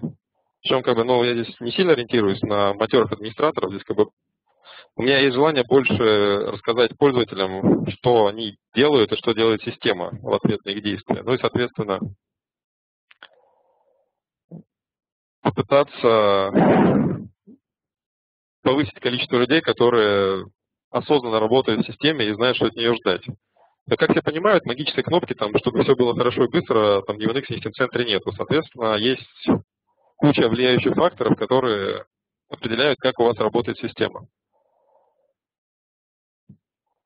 Собственно, ну, вот на чем я хочу, с чего хочу начать, это с того, как система, как NX грузит, как он получает данные, как он работает в связке с тем центром. Вот то, что вот этот топик, который сейчас, о котором идет речь, он, конечно, не сильно актуален для тех, кто работает у нас без Team Собственно, с точки зрения NX, как выглядит загрузка, когда вы выбрали там сборочку в клиенте Team Center, либо через встроенный навигатор NX, кстати, о чем Алексей не упомянул, оказалось, что немногие это знают, но можно запускать NX, который будет работать с Team Center, но без клиента Team Center когда вам нужно чисто работать в каде, когда вы хотите сэкономить там энное количество памяти, там от 800 мегабайт до гигабайта, то вы можете запускать NX с определенным ключом, который будет напрямую соединяться, присоединяться к базе и работать. Собственно, когда загружается сборка, то, в принципе, что, что, делает, что делает NX, он через как бы встроенный клиент, который там на фоне болтается, делает запрос в базу данных, получает информацию о какой-то модельке. После этого через FMS-систему, FMS это, скажем так, для вот простого пользователя, это специальная программа, которая крутится на фоне у вас всегда, которая отвечает за передачу файлов. Там из Team-центра к вам на компьютер, из компьютера на тома Team-центра. Собственно, вот в общих чертах единственная задача – это вот переброс файлов там, с одного места в другое. Собственно говоря, когда грузится сборка, то FMS, он лезет в Center, берет оттуда файл, перекачивает вам на локальную папку, и дальше Nix забирает файл из локальной папки. То есть как бы для NX, в принципе, на самом деле NX, он даже работая с Team Center, под Team Center, он все равно работает с локальными данными. И вот эта вся передача, она происходит на фоне. Сам NX, как бы, по большей части, сам механизм загрузки, он не особо знает, откуда пришли данные, что они с центра взяли, что они локально лежали. Там происходит так, образно говоря, имитация. И что, что, здесь, что здесь интересно? Когда у вас происходит первичная загрузка, когда вы первый раз грузите какой-то файл или модель, то все это работает именно так. Пошел запрос, получили файлик, положили в папочку и загрузили в сессию. Когда у вас файл загружается повторно, то логика немножко другая. То есть клиент, он спрашивает Team а поменялась ли модель? То есть банально, был, была ли изменена модель в момент, в момент последней загрузки его на этом компьютере. Если она была изменена, то тогда мы идем по стандартному циклу. Опять запрашиваем модель, получаем ее в локальную папку, загружаем в сессию. Если она не была изменена, то тогда мы просто берем из локальной папки и загружаем в сессию. То есть мы избегаем вот этого полного цикла, опять перекачки одних и тех же данных, которые у нас уже вроде как бы есть. Здесь еще стоит упомянуть один нюанс, что ну, очень много встречалось на предприятиях, что когда там центр клиентам зависает, там Java зависает, памяти не хватает, то очень часто любят залазить там в папочку, в папочку локальных настроек и удалять MCC кэш. Собственно, вот это как раз это самая, та самая папка, где лежит, где лежат те файлы, которые конструктор грузит к себе в NX. То есть каждый раз, когда вы удаляете папочку CC кэш, вы, образно говоря, говорите, что все, все модели опять огружу заново, и все, что у вас там предыдущие там, дни недели накапливалось в этой папке, даже если оно актуально, оно все затирается, и, собственно, после каждой очистки CC кэша у вас время загрузки оно всегда увеличивается. Соответственно, в принципе, здесь надо, ну, так скажем, с умом подходить. Там, если у вас нет никаких признаков того, что при загрузке сборки возникают проблемы, что вы видите не устаревшие данные, то, скорее всего, папочку CC лучше у пользователя не трогать, пусть она будет наполнена. Ну, вот, если посмотреть эту цепочку, то реально вот на загрузку, на скорость влияет, влияет ну, образно говоря, это четыре фактора. Ну, на самом деле влияет пять факторов, один фактор это тот, то, что до этого рассказывал Алексей, это вот скорость работы там базы, скорость работы логики и всего остального четыре фактора, которые такие более приземленные. Ну вот, в частности, первое – скорость передачи данных по сети. В принципе, ну, вот, достаточно очевидно, там, чем более шустрая сетка, тем быстрее у вас там прокачаются вот эти файлы. Но еще есть тот нюанс, который многие так на скидку не сразу понимают. Скорость передачи, она вот даже при хорошей сетке, она не всегда достаточно, когда у вас много пользователей грузит сборки в одно и то же время. Это очень характерно для предприятий, которые вот они начали разрабатывать какое-то изделие, и тут как на заводах, пришли, пришли люди там к 8 часам, и вот с 8 до 8-10 начинается загрузка. И FTC начинает прокачивать. На каждый клиент начинают скачаться такие достаточно большие объемы данных. Собственно, вот пиковая нагрузка, она где-то происходит в это время. Вот сохранение вечером, оно не так сильно нагружает сеть, чем открытие с утра. Здесь, в принципе, теоретически, как бы, ну, я имею в виду, что теоретически можно разнести по времени эту загрузку. Можно сказать, что там один отдел загружает такое-то время, второй другое, но как бы все понимают, что это достаточно так трудно организовать. То есть директивно можно, но как бы... Поэтому здесь, в принципе, кроме как сильно такого большого коэффициента запаса по мощности сети ничего больше предложить нельзя. То есть надо мерить, измерять потребности сети не исходя там из каких-то тестов, там, загрузки большой сборки на единичный компьютер, исходить из того, что одну большую сборку будут все грузить одновременно. И это все будут делать, потому что с точки зрения FMS-системы измененные данные являются те, которые изменяются другими пользователями. Соответственно, если у вас там 200 человек работают каждый день, меняют там каждый по 2-3 детальки, то для конкретного одного пользователя вот эти там 400-600 деталей каждый день будут изменены. Соответственно, FMS будет прокачивать по утрам вот весь этот объем. Ну и как бы вот так, там, ради интереса э, замеряли там на одном предприятии, то порядка 3-4 гигабайт с утра прокачивалось. 3-4 гигабайта 500 человек примерно вот одновременно начинают качать. Там более-менее то, что администратор считает хорошей сетью, в это время как бы очень сильно ну, подвергает таким хорошим нагрузкам. Соответственно, вот этот фактор как бы надо всегда учитывать при выборе оборудования. Скорость дисковой системы. Вот уже, в принципе, давно пытаемся агитировать всех, что надо оставить SSD-диск. На самом деле, вот при именно загрузке сборок и Steam Center в NX, вот сам, сам диск, он влияет на уровень 50%. То есть 5-10% в принципе достаточно, чтобы поставить SSD-диск. Нельзя сказать, что это критично, там, ну, загрузится не за 10 минут, а за 9 минут, что, в принципе, тоже неплохо. Но здесь сразу хочу сказать, что SSD-диск, он достаточно серьезно повышает скорость работы самого NX. Есть сам NX стартует достаточно быстро, приложение подгружается очень быстро, переключение между приложениями происходит очень быстро. Соответственно, SSD-диск, он имеет смысл больше со стороны скорости работы самого NX, чем скорость э, передачи данных между вот этой папочкой локальной и сессией NX. Ну, про настройки FMS сейчас уже Алексей рассказал, что надо, надо требовать администраторов, чтобы они увеличивали объем кэша, который у вас на клиенте установлен.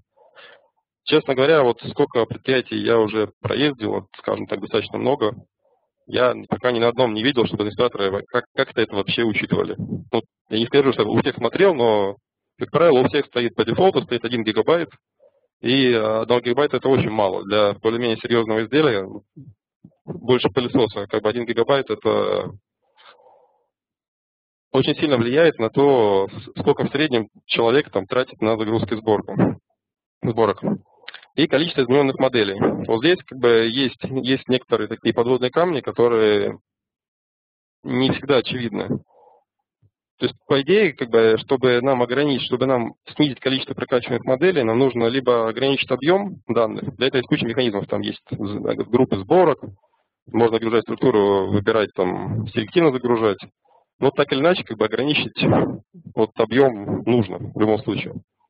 И здесь, насколько я понимаю, ну, уже по практике намного критично является снизить количество именно ложных изменений когда деталь на самом деле не, не, не поменялась, но система считает ее поменявшейся. Я поясню, в чем дело. Собственно, здесь роль играет два фактора. Это версия файла и наличие wave-связи, межмодельных связей. Причем механизмы, механизмы влияния этих факторов, они отличаются от версии 8, 8.5 и 9. Если посмотреть, как у нас загружается, вот, схематично, как загружается файл, там, каждый компонент сборки, то NX сначала берет кусочек файла, заголовок считывает, смотрит, в какой версии он был сохранен, смотрит, что текущая версия, она не совпадает или совпадает.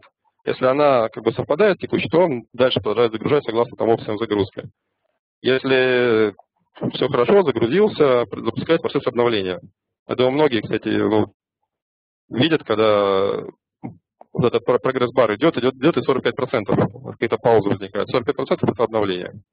То есть вот мы считываем примерно там первые 5% и вот загрузка вот от 5 до 45, а потом на 45% происходит как раз обновление всего и вся, в зависимости от опции опять же. Дальше идет уже визуализация. Собственно, если файл не в текущей версии, имеется в виду, что если условно говоря, у вас файл был 7.5 сделан, открываете 8, если был 8, 8.5, имеется в виду такие именно релизы, то запускается процесс конвертации.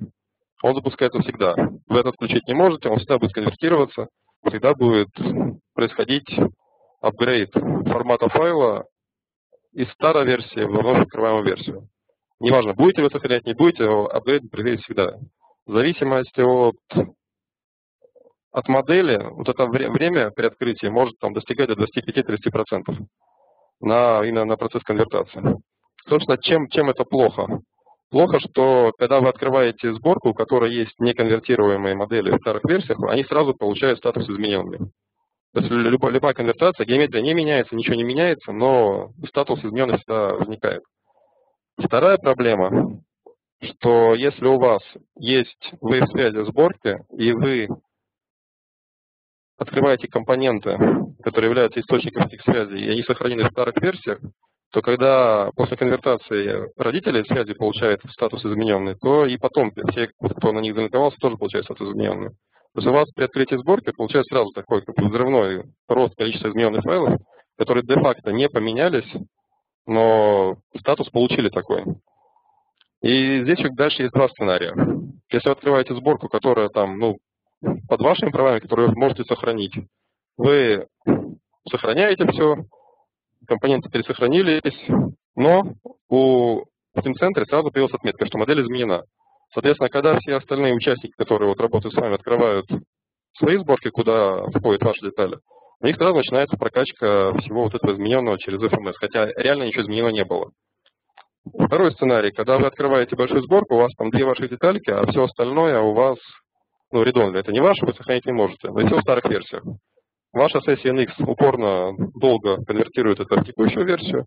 Вы сохраняете свои две детальки, потому что на все остальное у вас прав нету. Приходите на следующее утро, открываете сборку, а, NX опять упорно конвертирует все детальки в текущую версию, вы опять сохраняете две детальки. И так продолжается до тех пор, пока все там участники не открывают свои детали, не пересохраняют. И если еще не учитывать администратора, который может забыть переконвертировать стандартные изделия, которые у вас всегда будут там, находиться на 4 x 5, и каждый раз при открытии у вас будет происходить производится конвертация. Собственно, здесь единственный выход – это запускать рефайл. Есть специальная утилита, которая позволяет вам, точнее, позволяет администратору пройтись по папке, пройтись по базе, пройтись по выпущенным, пройтись там по айтам, по, по стандартам, по айтам по статусам и пересохранить модели. Там, на самом деле, тонкости вот э, этого рефайла даваться не будут. Это как бы больше такая головная боль администратора. Что надо знать пользователю? То, что, ну, минимум, то, что если вы открываете деталь в старой версии, она всегда будет измененная с точки зрения Nix, с точки зрения Team-центра, но не с точки зрения содержимого. И второе, что при проведении рефайла, когда у вас администратор провел операцию пересохранения, что операция refile действует на модели, действует на файлы чертежей, но не на сами чертежи. Вы всегда после конвертации должны зайти в чертежей и, автомати... и в ручном режиме обновить содержимое чертежа. Там для этого есть специальная кнопка вот в разделе настройки черчения. Иначе у вас как бы формат файла будет соответствовать новой версии, но содержимое не будет ему соответствовать. Теперь немножко про содержимое. Я, кстати, забыл один момент, сейчас вернусь. Здесь есть отличие между версиями 8, 8.5 и 9. Отличие в работе вейв-связи. Как я сказал, что когда у вас модификация, любая модификация родителя связи влечет за собой статус изменено на потомков связи. Это справедливо для версии 7.5, 8 и частично 8.5. Девятка, она уже происходит более избирательно. Если у вас поменялся источник по связи, там, реально что-то поменялось, либо поменялась как бы версия, то девятка смотрит, поменялся ли либо тот, тот объект, которого была сделана связь, либо поменялся какой-то другой объект. Если поменялся тот объект, которого была сделана связь, то да, да, она говорит, что связь устарела. Если нет, то нет. Соответственно, у вас, ну, скажем так, если вы открываете ну, 7.5, 8, наверное, пример будет плохой, если открываете что-нибудь старое, там NX4, NX5, NX8, то некоторые элементы построения, там некоторые фичи, они там как бы приобрели новые атрибутику, то есть появились какие-то новые опции, новые атрибуты, соответственно, NX их переконвертит. Соответственно, девятка увидит, что конкретная фича, она поменялась, соответственно, да, тогда все, что на этой фиче было залинковано, все конструктивные элементы будет тоже изменено. Восьмерка 7.5 и частично 8.5, там зависит от патча, она просто смотрит на файл. Файл изменен, значит все связи сразу автоматически считаются измененными. Поэтому здесь как бы, ну, надо иметь в виду, как, как вот система принимает решение, что считает измененной связью. Теперь немножко по содержимому. Здесь, в принципе, скорее всего, для большинства это будет очевидно, хотя вот мы уже несколько раз сталкиваемся, что не все понимают, как у нас файл устроен. В принципе, конструкторам, пользователям не сильно надо голову этим закрывать, но вот администраторам, в принципе, полезно знать. Особенно вот тем, кто переходит с 4.5 и с пятерки. Если в 4 и в 5, ну, по-моему, в пятерке, может, поменяли, 4.5 всякие фасетные представления в основном создавались вручную, то начиная вот с шестой версии у нас фасетные представления генерятся автоматически. То образно говоря, мы берем точную геометрию и файл NX сохраняем GT представление. Это не та GT, которую вы получаете, когда включаете опцию «Сохранить данные GT». Вот это GT представление, оно сохраняется всегда. Ну, скажем так, есть опция, которая позволяет это отключить, но по дефолту она включена, она у всех включена, хорошо закопана, ее там найти достаточно сложно. Соответственно, на ссылочный набор у нас создается великолепное представление для, в принципе, простого такого обывательского понимания, это как бы тессилированная геометрия. Если мы берем как бы точно геометрию, триангулируем, мы получаем такой маленький файлик. Как правило, он 7-12% от общего размера геометрии, того, что сделал Parasolid. И у нас как бы, ну, получается, скажем так, в одном файле NX модель такой гибрид. Там GT-файл и, собственно, сам файл модели. Как формируется он по-разному. Опять же, здесь зависит от версии, опять же, там 8, 8, 5, 9. Сейчас у нас есть сценарий, когда вот это представление создается при первом, при первом появлении тела, твердого, либо поверхности. Есть сценарий, когда он создается при нажатии кнопки Save. И так, и, и так работает. Там условия там не важно, как, какие используются, но как бы вот надо понимать, что оно формируется всегда. Причем здесь, что, что важно, что для генерации вот этого представления и для генерации GT, который вы видите там в центре, который у вас там падает локально, если работает локально, используются разные настройки. Настройки GT, который у вас вот лежит для визуализации там в тем центре или просто вы экспортируете, никак не влияет на вот это GT представление. Там есть другой набор настроек, который вот определяет, как оно выглядит. На самом деле вот эта структура, она условна. Реально у нас как бы файл выглядит примерно так. Сейчас у нас есть точная геометрия на ссылочном наборе, и для каждого ссылочного набора есть еще эта GT. -шка. То есть как бы файл такой, это такая пачка, где на каждый ссылочный набор, в котором есть твердотельная либо поверхностная геометрия, создается соответствующая тесселяционная геометрия в виде GT-модели. И, собственно, опции загрузки, они определяют, во-первых, какой из наборов грузить, а вторая группа определяет, ну, в каком виде загрузить. Собственно, для пользователя надо достаточно, скажем так, подробно понимать, как опции работают, потому что опции по умолчанию не оптимальны в загрузке. Те опции, которые там ставят администратор, они работают для определенных сборок, но там, в зависимости от сценария работы они должны изменяться в любом случае. Соответственно, вот эти опции, как бы, ну, документацию читают, скажем так, мало кто, иногда там по диагонали, соответственно, как они работают, не все понимают. И, собственно, вот разница между оптимальными и неоптимальными э, опциями по количеству съедаемой памяти по времени загрузки, она ну, на, на порядок отличается. Хотя я сейчас хочу, в принципе, на таких базовых вещах объяснить, как, как NX работает с этими опциями. Собственно, вот опция, которая отвечает за облегченное представление, она решает, она решает, что будет загружено. Либо точная геометрия, вот тот самый парасольдовский объект, который был создан ядром, либо загрузится вот то облегченное представление, которое лежит в этом ссылочном наборе. Загрузка данных о связях, она отвечает за то, будут ли загружены веб-связи. Причем здесь опять же есть разница между восьмеркой и предыдущими версиями, что если вы грузите модель и опция у вас включена, то помимо загрузки самой вашей модели будет загружена еще та модель, с которой вы сделали связь. Она будет полностью загружена. 8,5 она и выше, то есть 8.5, 9 и дальше. Она загружает вашу модель, которую вы грузите, и частично ту модель, которая содержит, с которой вы делали связь. Образно говоря, если вы грузите потомка, там ребенка это, этой связи, то родитель в случае с восьмеркой ранее грузится полностью, 8.5 и 9 грузится частично. Но при этом 8.5 и 9 они в зависимости от ваших действий могут при каких-то при каких-то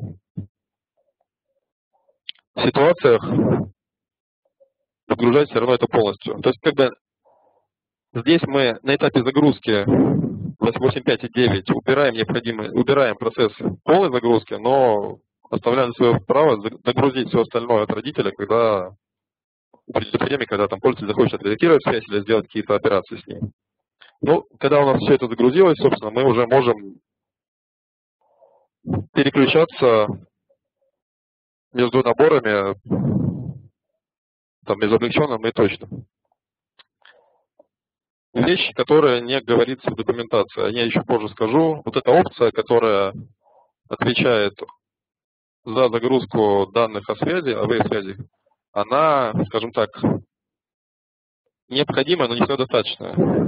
То есть есть, есть условия, есть набор условий, когда эта опция будет игнорироваться, и NX все равно будет грузить wave связь, вне зависимости от версии.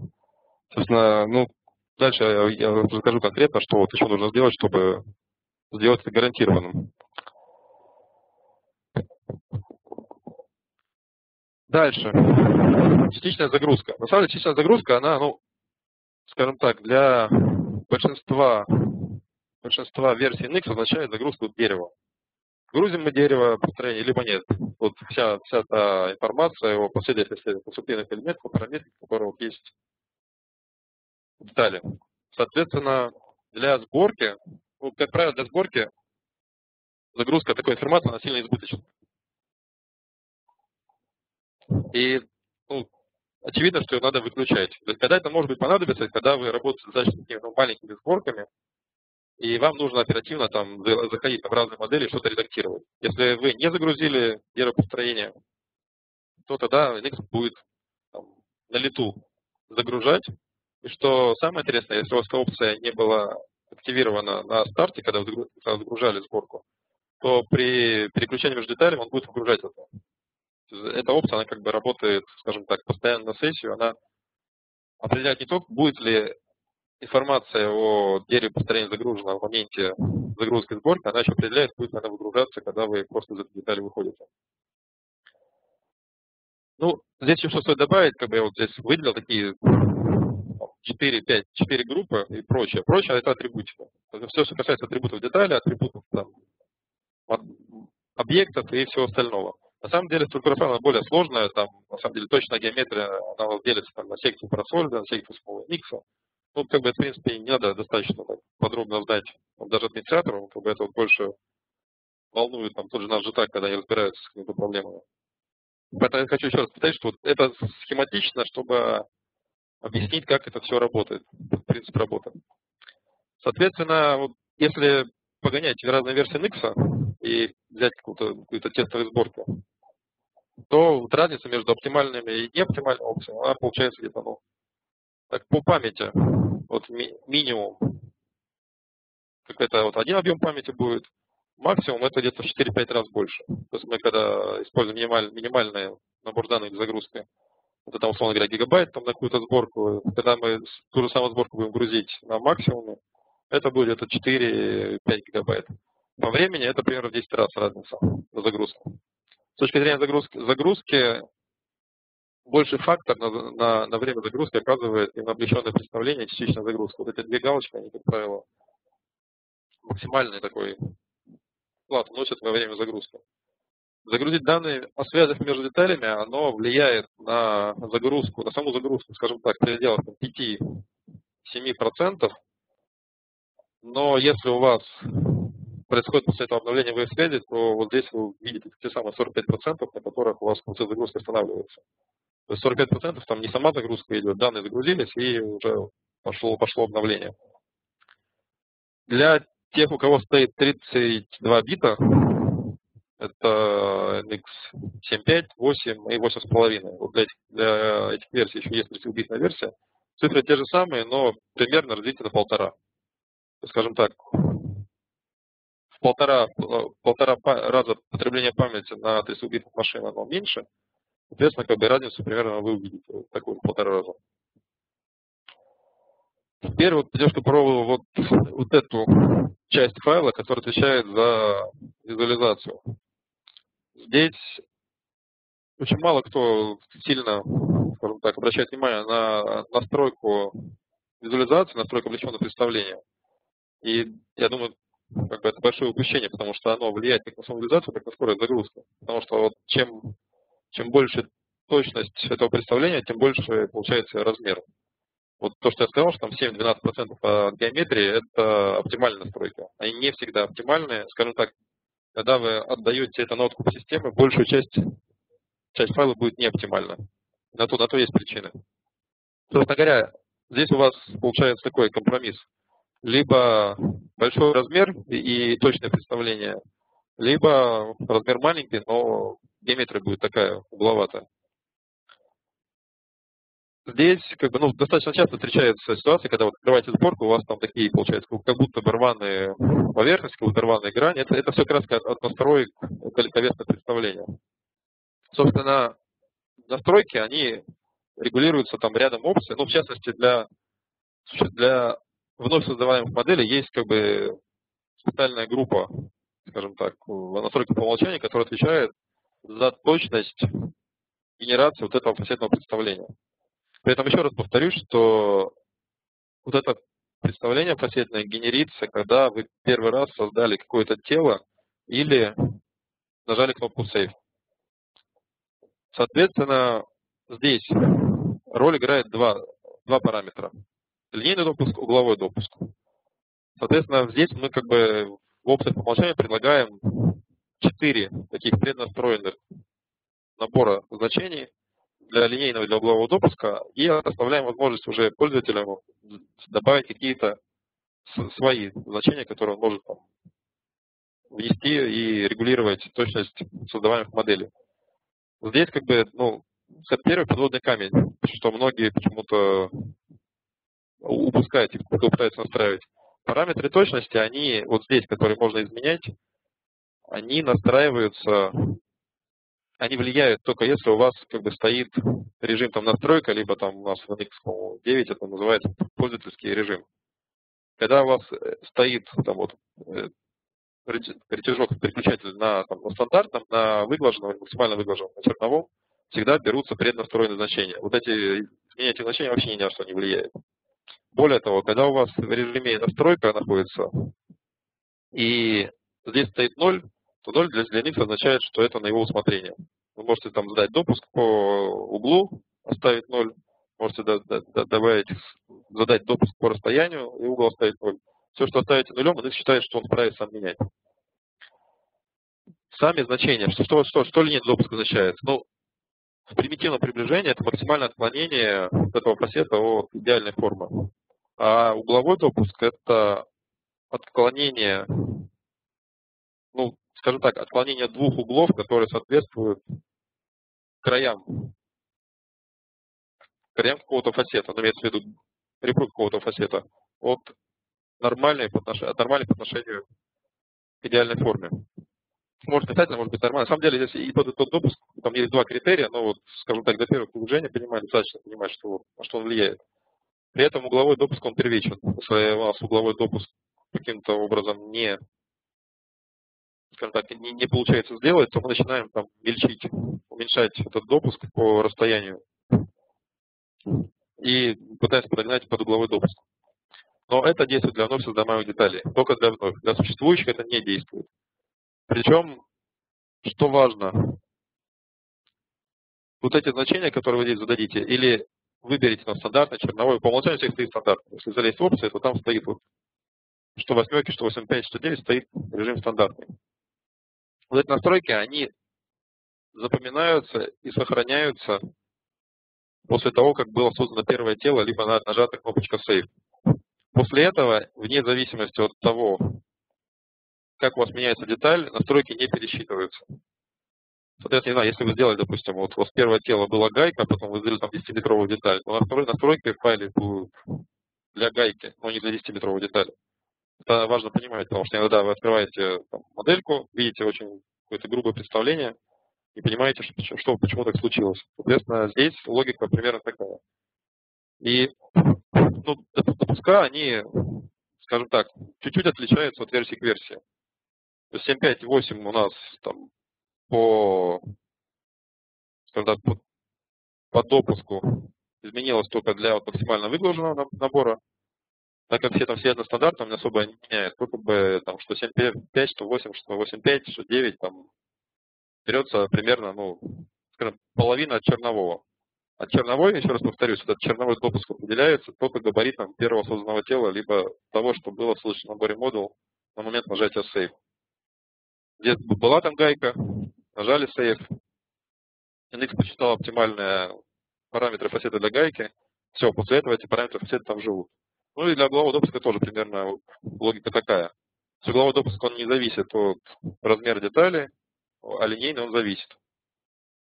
Соответственно, когда вам нужно, когда вы видите, что у вас очень-очень грубо отображается деталь, когда видите рваные края, вам нужно залезть и изменить конкретное тело в конкретном случае наборе.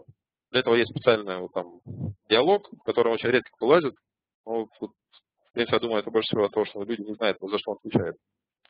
Соответственно, здесь, там, в принципе, надо будет только выбрать тело. В данном случае, как вот видно, светится, что есть тело одно. Это значит, что у меня есть ссылочный набор модул, там какое-то тело болтается. Если у меня было бы 20 ссылочных наборов, то у меня было бы 20 тел. Соответственно, выбираете то тело и ставите те допуска, которые ну, больше подойдут для ваших габаритов. Когда вы не хотите сильно, скажем так, вдаваться в подробности, то вы можете просто зайти в диалог, нажать кнопочку «Сброс». Кнопочка «Сброс», она, ну, перевод на самом деле, наверное, не самый удачный. Она просто перемеряет габариты вашей детали и приведет эти значения более оптимальные для ваших габаритов. Собственно, и все. Есть альтернатива. Когда вы делаете тот же самый refile part, когда пересохраняете модель там, скажем, из старой версии в новую версию, там есть специальный параметр, который отвечает за перегенерацию вот этого представления. Если вы перегенерируете это представление с опциями по умолчанию, то берется стандартный допуск из настроек, которые у вас на машине стоят. Кстати, вот на это достаточно многие напарываются, что там конвертят, скажем так, из 5 NX, 8 в 9, и потом видят, что почему-то там резко вот это облегченное представление стало почему-то больше, и что деталь переключается вот, в облегченное представление дольше. Оно все логично, получается, что у вас в X5 были настройки какие-то свои, которые вы делали, при конвертации рефайл посмотрел настройки по умолчанию и их применил. Чтобы этого избежать, надо уже там явно либо менять настройки по умолчанию, либо указывать на другие допуски. Но вот альтернатива вот такому ручному, ручной перегенерации есть это запуск, скажем так, в фоновом режиме где-то перегенерацию легковесного представления той же самой утилитой, даже без конвертации, скажем так, в новую версию. То есть вы можете, работая в NX8, запустить refile part, не конвертируя детали из формата формат, что бессмысленно в NX8.8, но перегенерить вот эти пакеты, которые у вас используются в сборке. Где это влияет? Ну, помимо того, что влияет на визуализацию, на отображение эти пакеты также используются при анализе пересечения. Здесь надо, как опять же, искать такой разумный баланс. У вас ну, при определенной точности, скажем так, пакеты там врезаться будут, а при другой точности не всегда более точно они могут не врезаться, просто потому что ребра этих пакетов, скажем так, не пересекутся. Это казалось бы, там вот здесь более точно, пересечение будет здесь грубое, а пересечение не найдет. И также эти фасеты используются, когда вы работаете в модуле последовательности сборки и разборки. Когда вы там таскаете компоненты с режимом стержня пересечения, то эти же фасеты, они там же используются на анализ коллизии, на подсветку столкновений.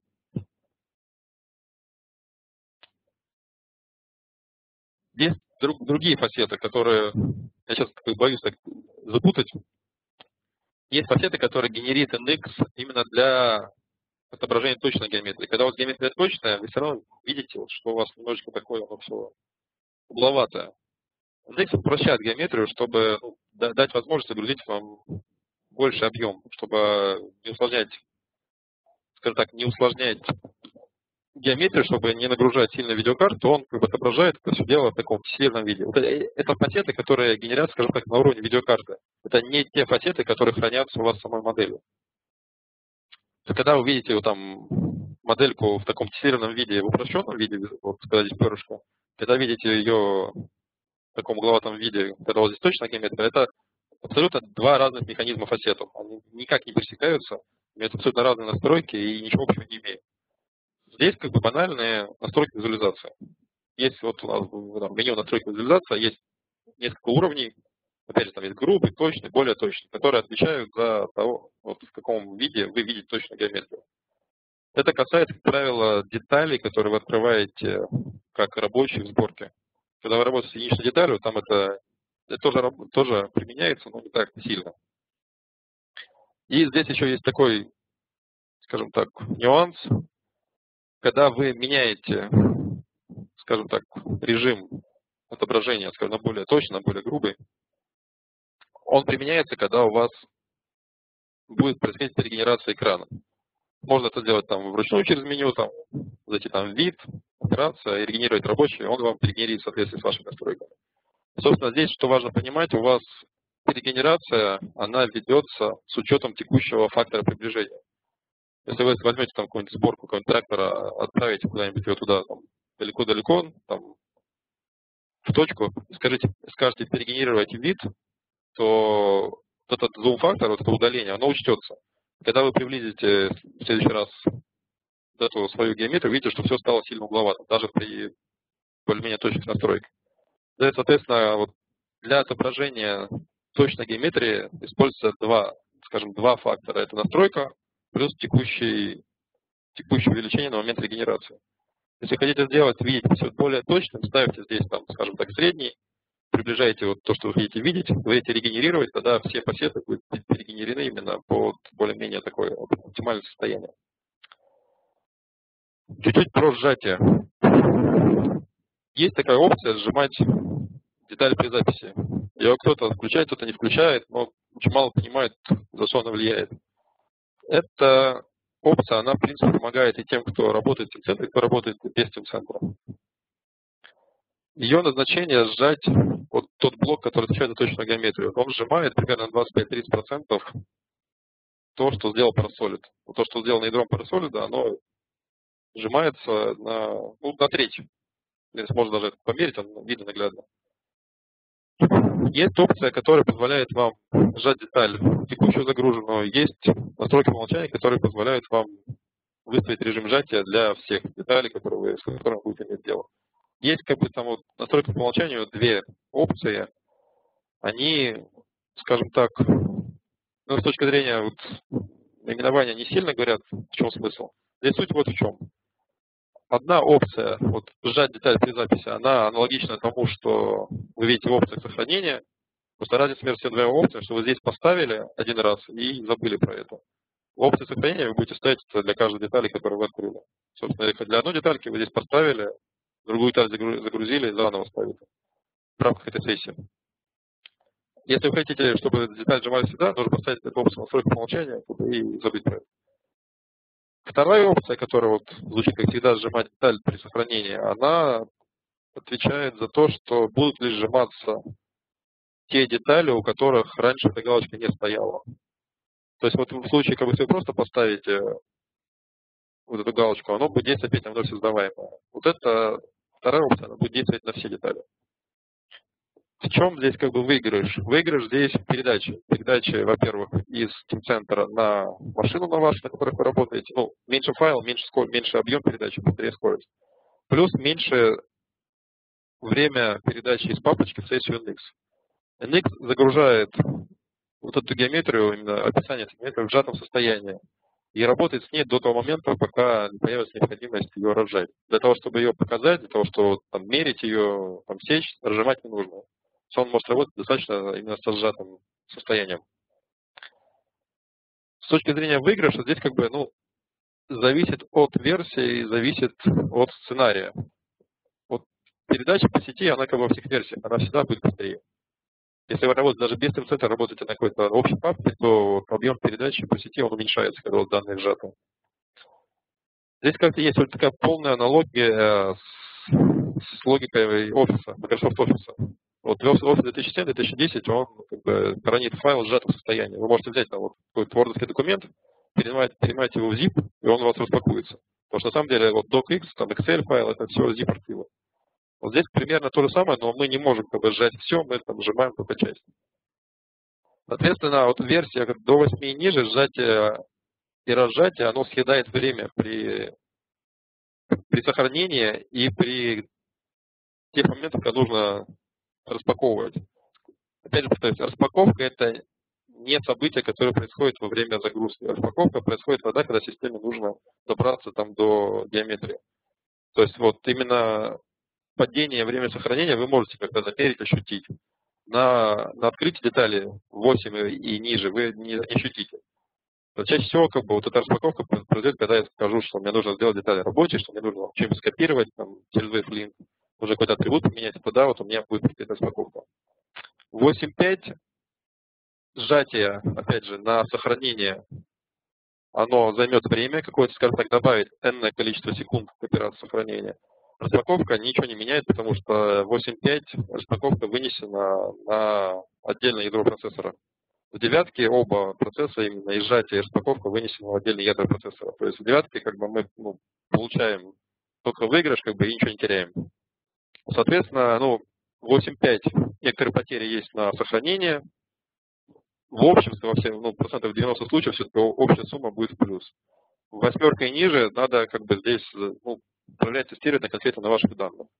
Здесь как бы может быть и выигрыш, как бы как, скажем так, ощутимый, может быть там и неощутимый, может быть, конечно, какая-то просадка. Здесь как бы надо ну, больше тестировать.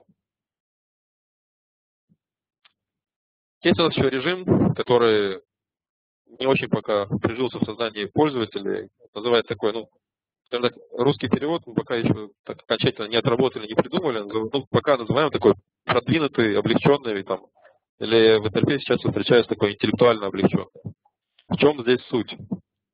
Мы можем загружать данные, каждый раз, когда ставим галочку «Загрузить облегченное, облегченное представление», мы загружаем облегченное представление, и скажем так, если мы больше ничего не делаем, то каждый раз, когда системе нужно, скажем так, получить доступ к точной геометрии, она подгружает остаток файла.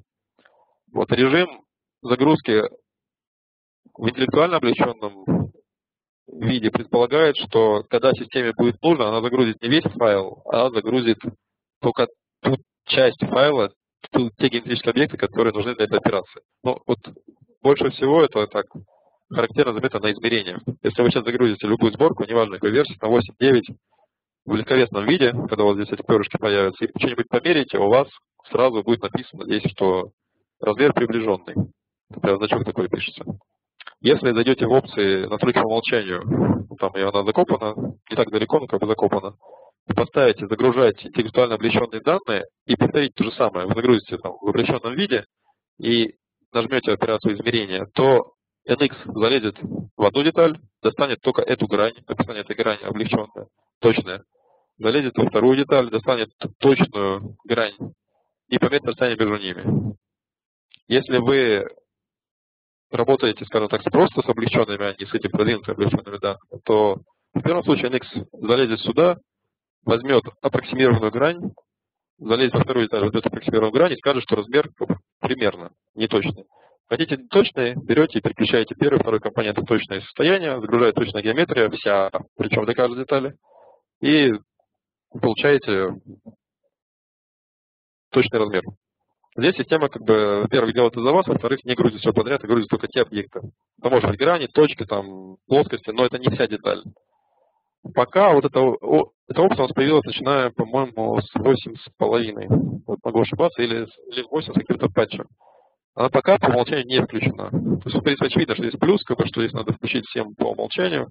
Но пока она, как бы так скажем, находится в режиме такой отработки в полях, соответственно, она выключена, но имеет смысл ее зайти включить, причем как бы всем пользователям сразу. И еще один, скажем так, механизм, опять же основанный на вот этих продвинутых облегченных моделях, это генерация чертежных видов. У нас есть сейчас, начиная с версии 8.5 и, по-моему, с 9, с 9 она тоже уже появилась, режим генерации так называемого интеллектуально облегченного вида. Собственно, здесь на самом деле загружается, опять же, та самая GT, которая лежит у нас в модели, но при этом логика постановки размеров, аннотация, она работает согласно тому, как вот я объяснил про размер. мы делаем вид на основе фасета, с той точностью, которая нас там задана. Но когда мы ставим размеры, NX лезет в модельки, достает оттуда описание конкретной там, грани, конкретной точки, конкретного отверстия и ставит точные размеры. Что, в принципе, ну, существенно облегчает работу, когда вы делаете какие-нибудь большие там, компоновки. Вам не нужно грузить там, точный, точный вид, потому что он слишком много памяти есть. Вам можно не грузить облегченный вид, не создавать облегченный вид, потому что размеры будут как бы такие приближенные. Вы сразу можете здесь одновременно получить скорость облегченного вида, но при этом иметь возможность ставить размеры, как будто это точный вид, точная геометрия. Немножко про обновление. Скажем так, опять же, здесь есть нюансы, но когда вы загружаете, видите, видите 40, 45% загрузки, то что делает NX? Первым делом он обновляет связи, потом он пытается обновить сопряжение сборки, потом идет пересчет выражений, которые есть в моделях, объяснить межмодельные выражения, он их пересчитывает. В последнюю очередь он обновляет PMI-объекты. Это если включено, если все опции, там, задержки обновлений выключены. Что как бы за кадром остается, то, что вызывает иногда некоторое такое непонимание. Порядок, в некоторых, в некоторых условиях порядок загрузки обновления веб-связи и сопряжения сборки может меняться. Там, я не буду говорить, почему останавливается, там слишком большая там, идеология теория зашита, но потому что иногда в первую очередь обновляются сопряжение сборки, иногда в первую очередь обновляются вейв-связи. Собственно, многие часто, когда видят, что у них там вот, деталька то стоит в одном месте, в другом месте, значит, у вас есть какая-то конфликтная вейв-связь, которая конфликтует с сопряжением сборки, и в зависимости от того, что у вас первое там отработало, у вас деталь то в одном положении, то в другом положении. Это происходит из-за того, что у вас есть конфликт, из-за того, что механизм обновления, он там, в некоторых условиях чередует порядок. Собственно говоря, ну, конфликта, по идее, в принципе, быть не должно. То есть у вас там сопряжение сборки не должно никак там, пересекаться с той логикой, которую вы наложили на вейв-связь. Вот я здесь просто хочу, хочу объяснить, почему иногда видите, что у вас там деталь, она скачет в зависимости от чего-то непонятного, когда вы загружаете сборку. Самый, самый оптимальный, оптимальный с точки зрения времени и памяти режим загрузки, когда у вас все обновления выключены. Это касается не только модели, но и чертежей. Все, что может обновляться автоматически, оно должно быть выключено. Если вы не хотите как бы ждать, если вы хотите просто открыть какую-то деталь сборки, открыть чертеж, а потом уже руками обновить, что нужно, вот выключаете все, там, задерживаете, задержку обновления для сопряжения, включаете задержку обновления там, для геометрии, для, для PMI и загружаете сборку. Но, опять же, есть еще один такой подводный камень. Вот режим задержки обновления геометрии, который там де-факто означает, в том числе задержку обновления wave-связи, он не всегда легитимный.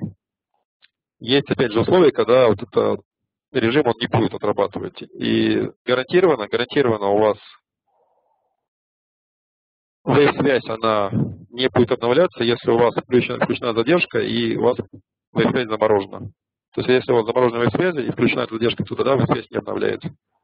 Если что-то из этого неправда, есть ситуация, когда она будет обновляться.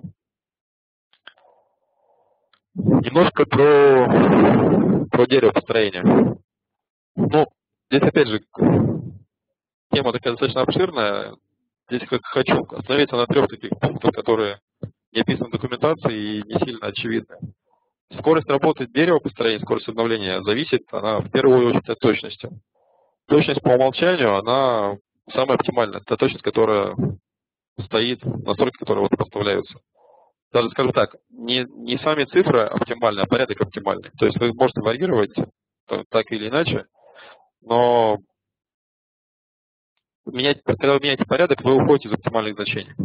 Оптимально там по куче причин, в частности, все, все тесты, все, все, все скажем так, механизмы разрабатываются, отрабатываются, все инструменты построения, они отрабатываются, отрабатываются на этих точностях.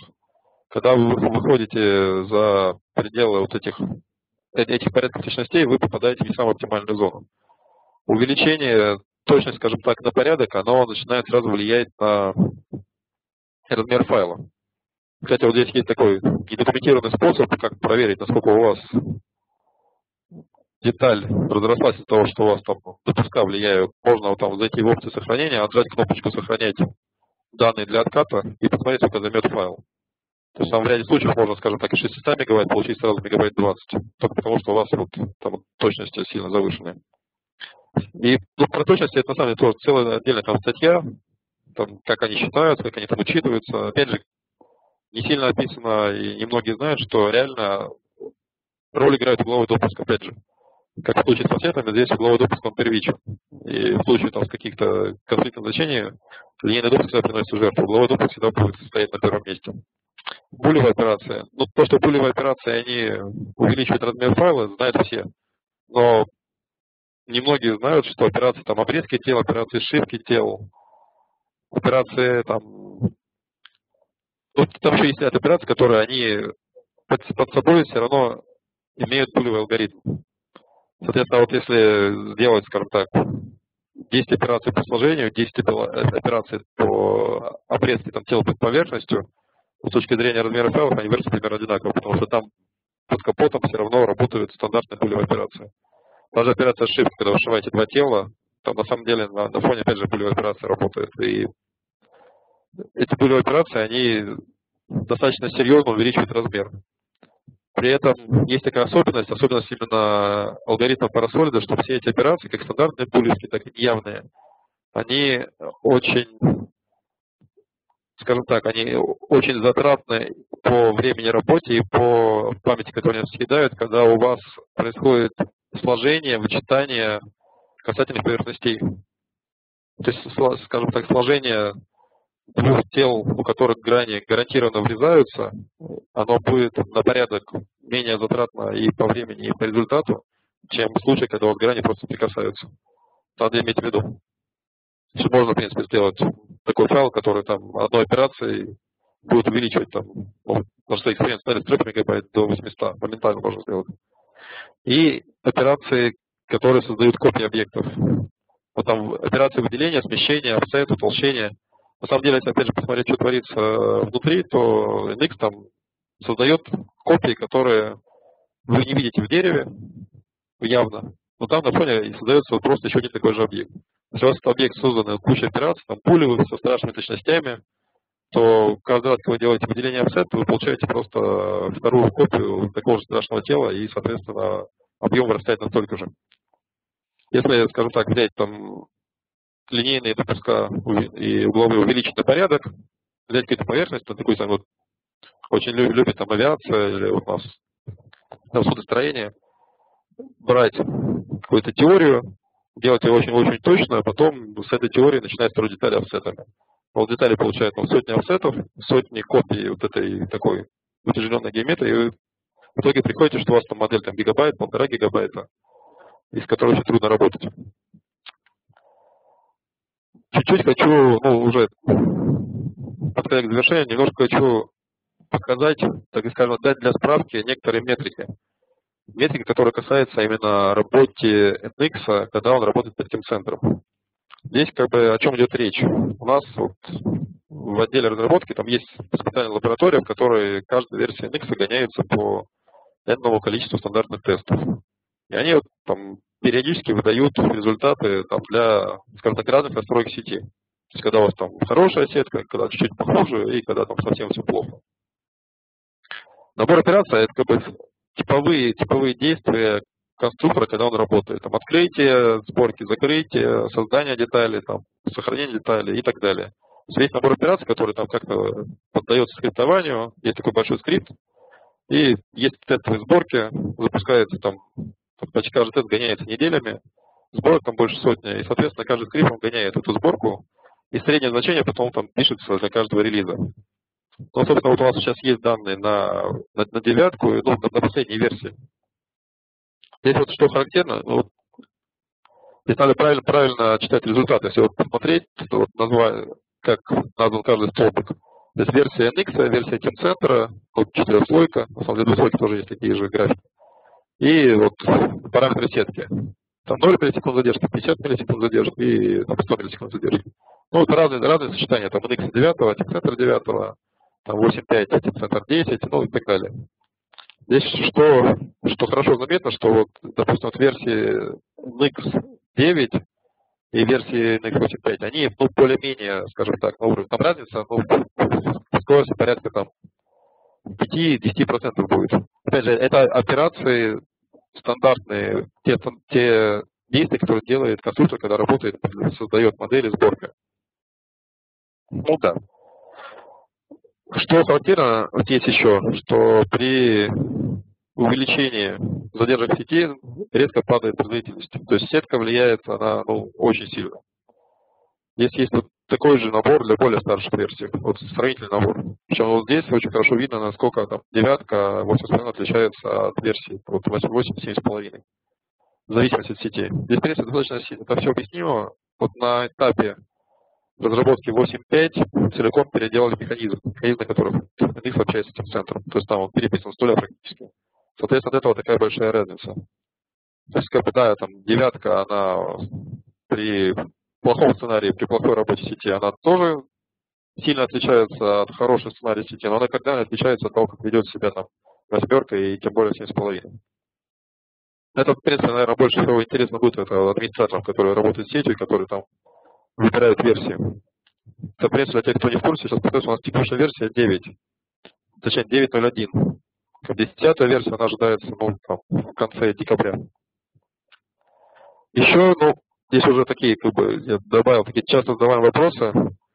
Семерка Windows 7, она имеет несколько специфических настроек. У нас очень часто при, при, присылаются вопросы, попадают по проблемам с графикой. Вот 90% случаев виновата тема.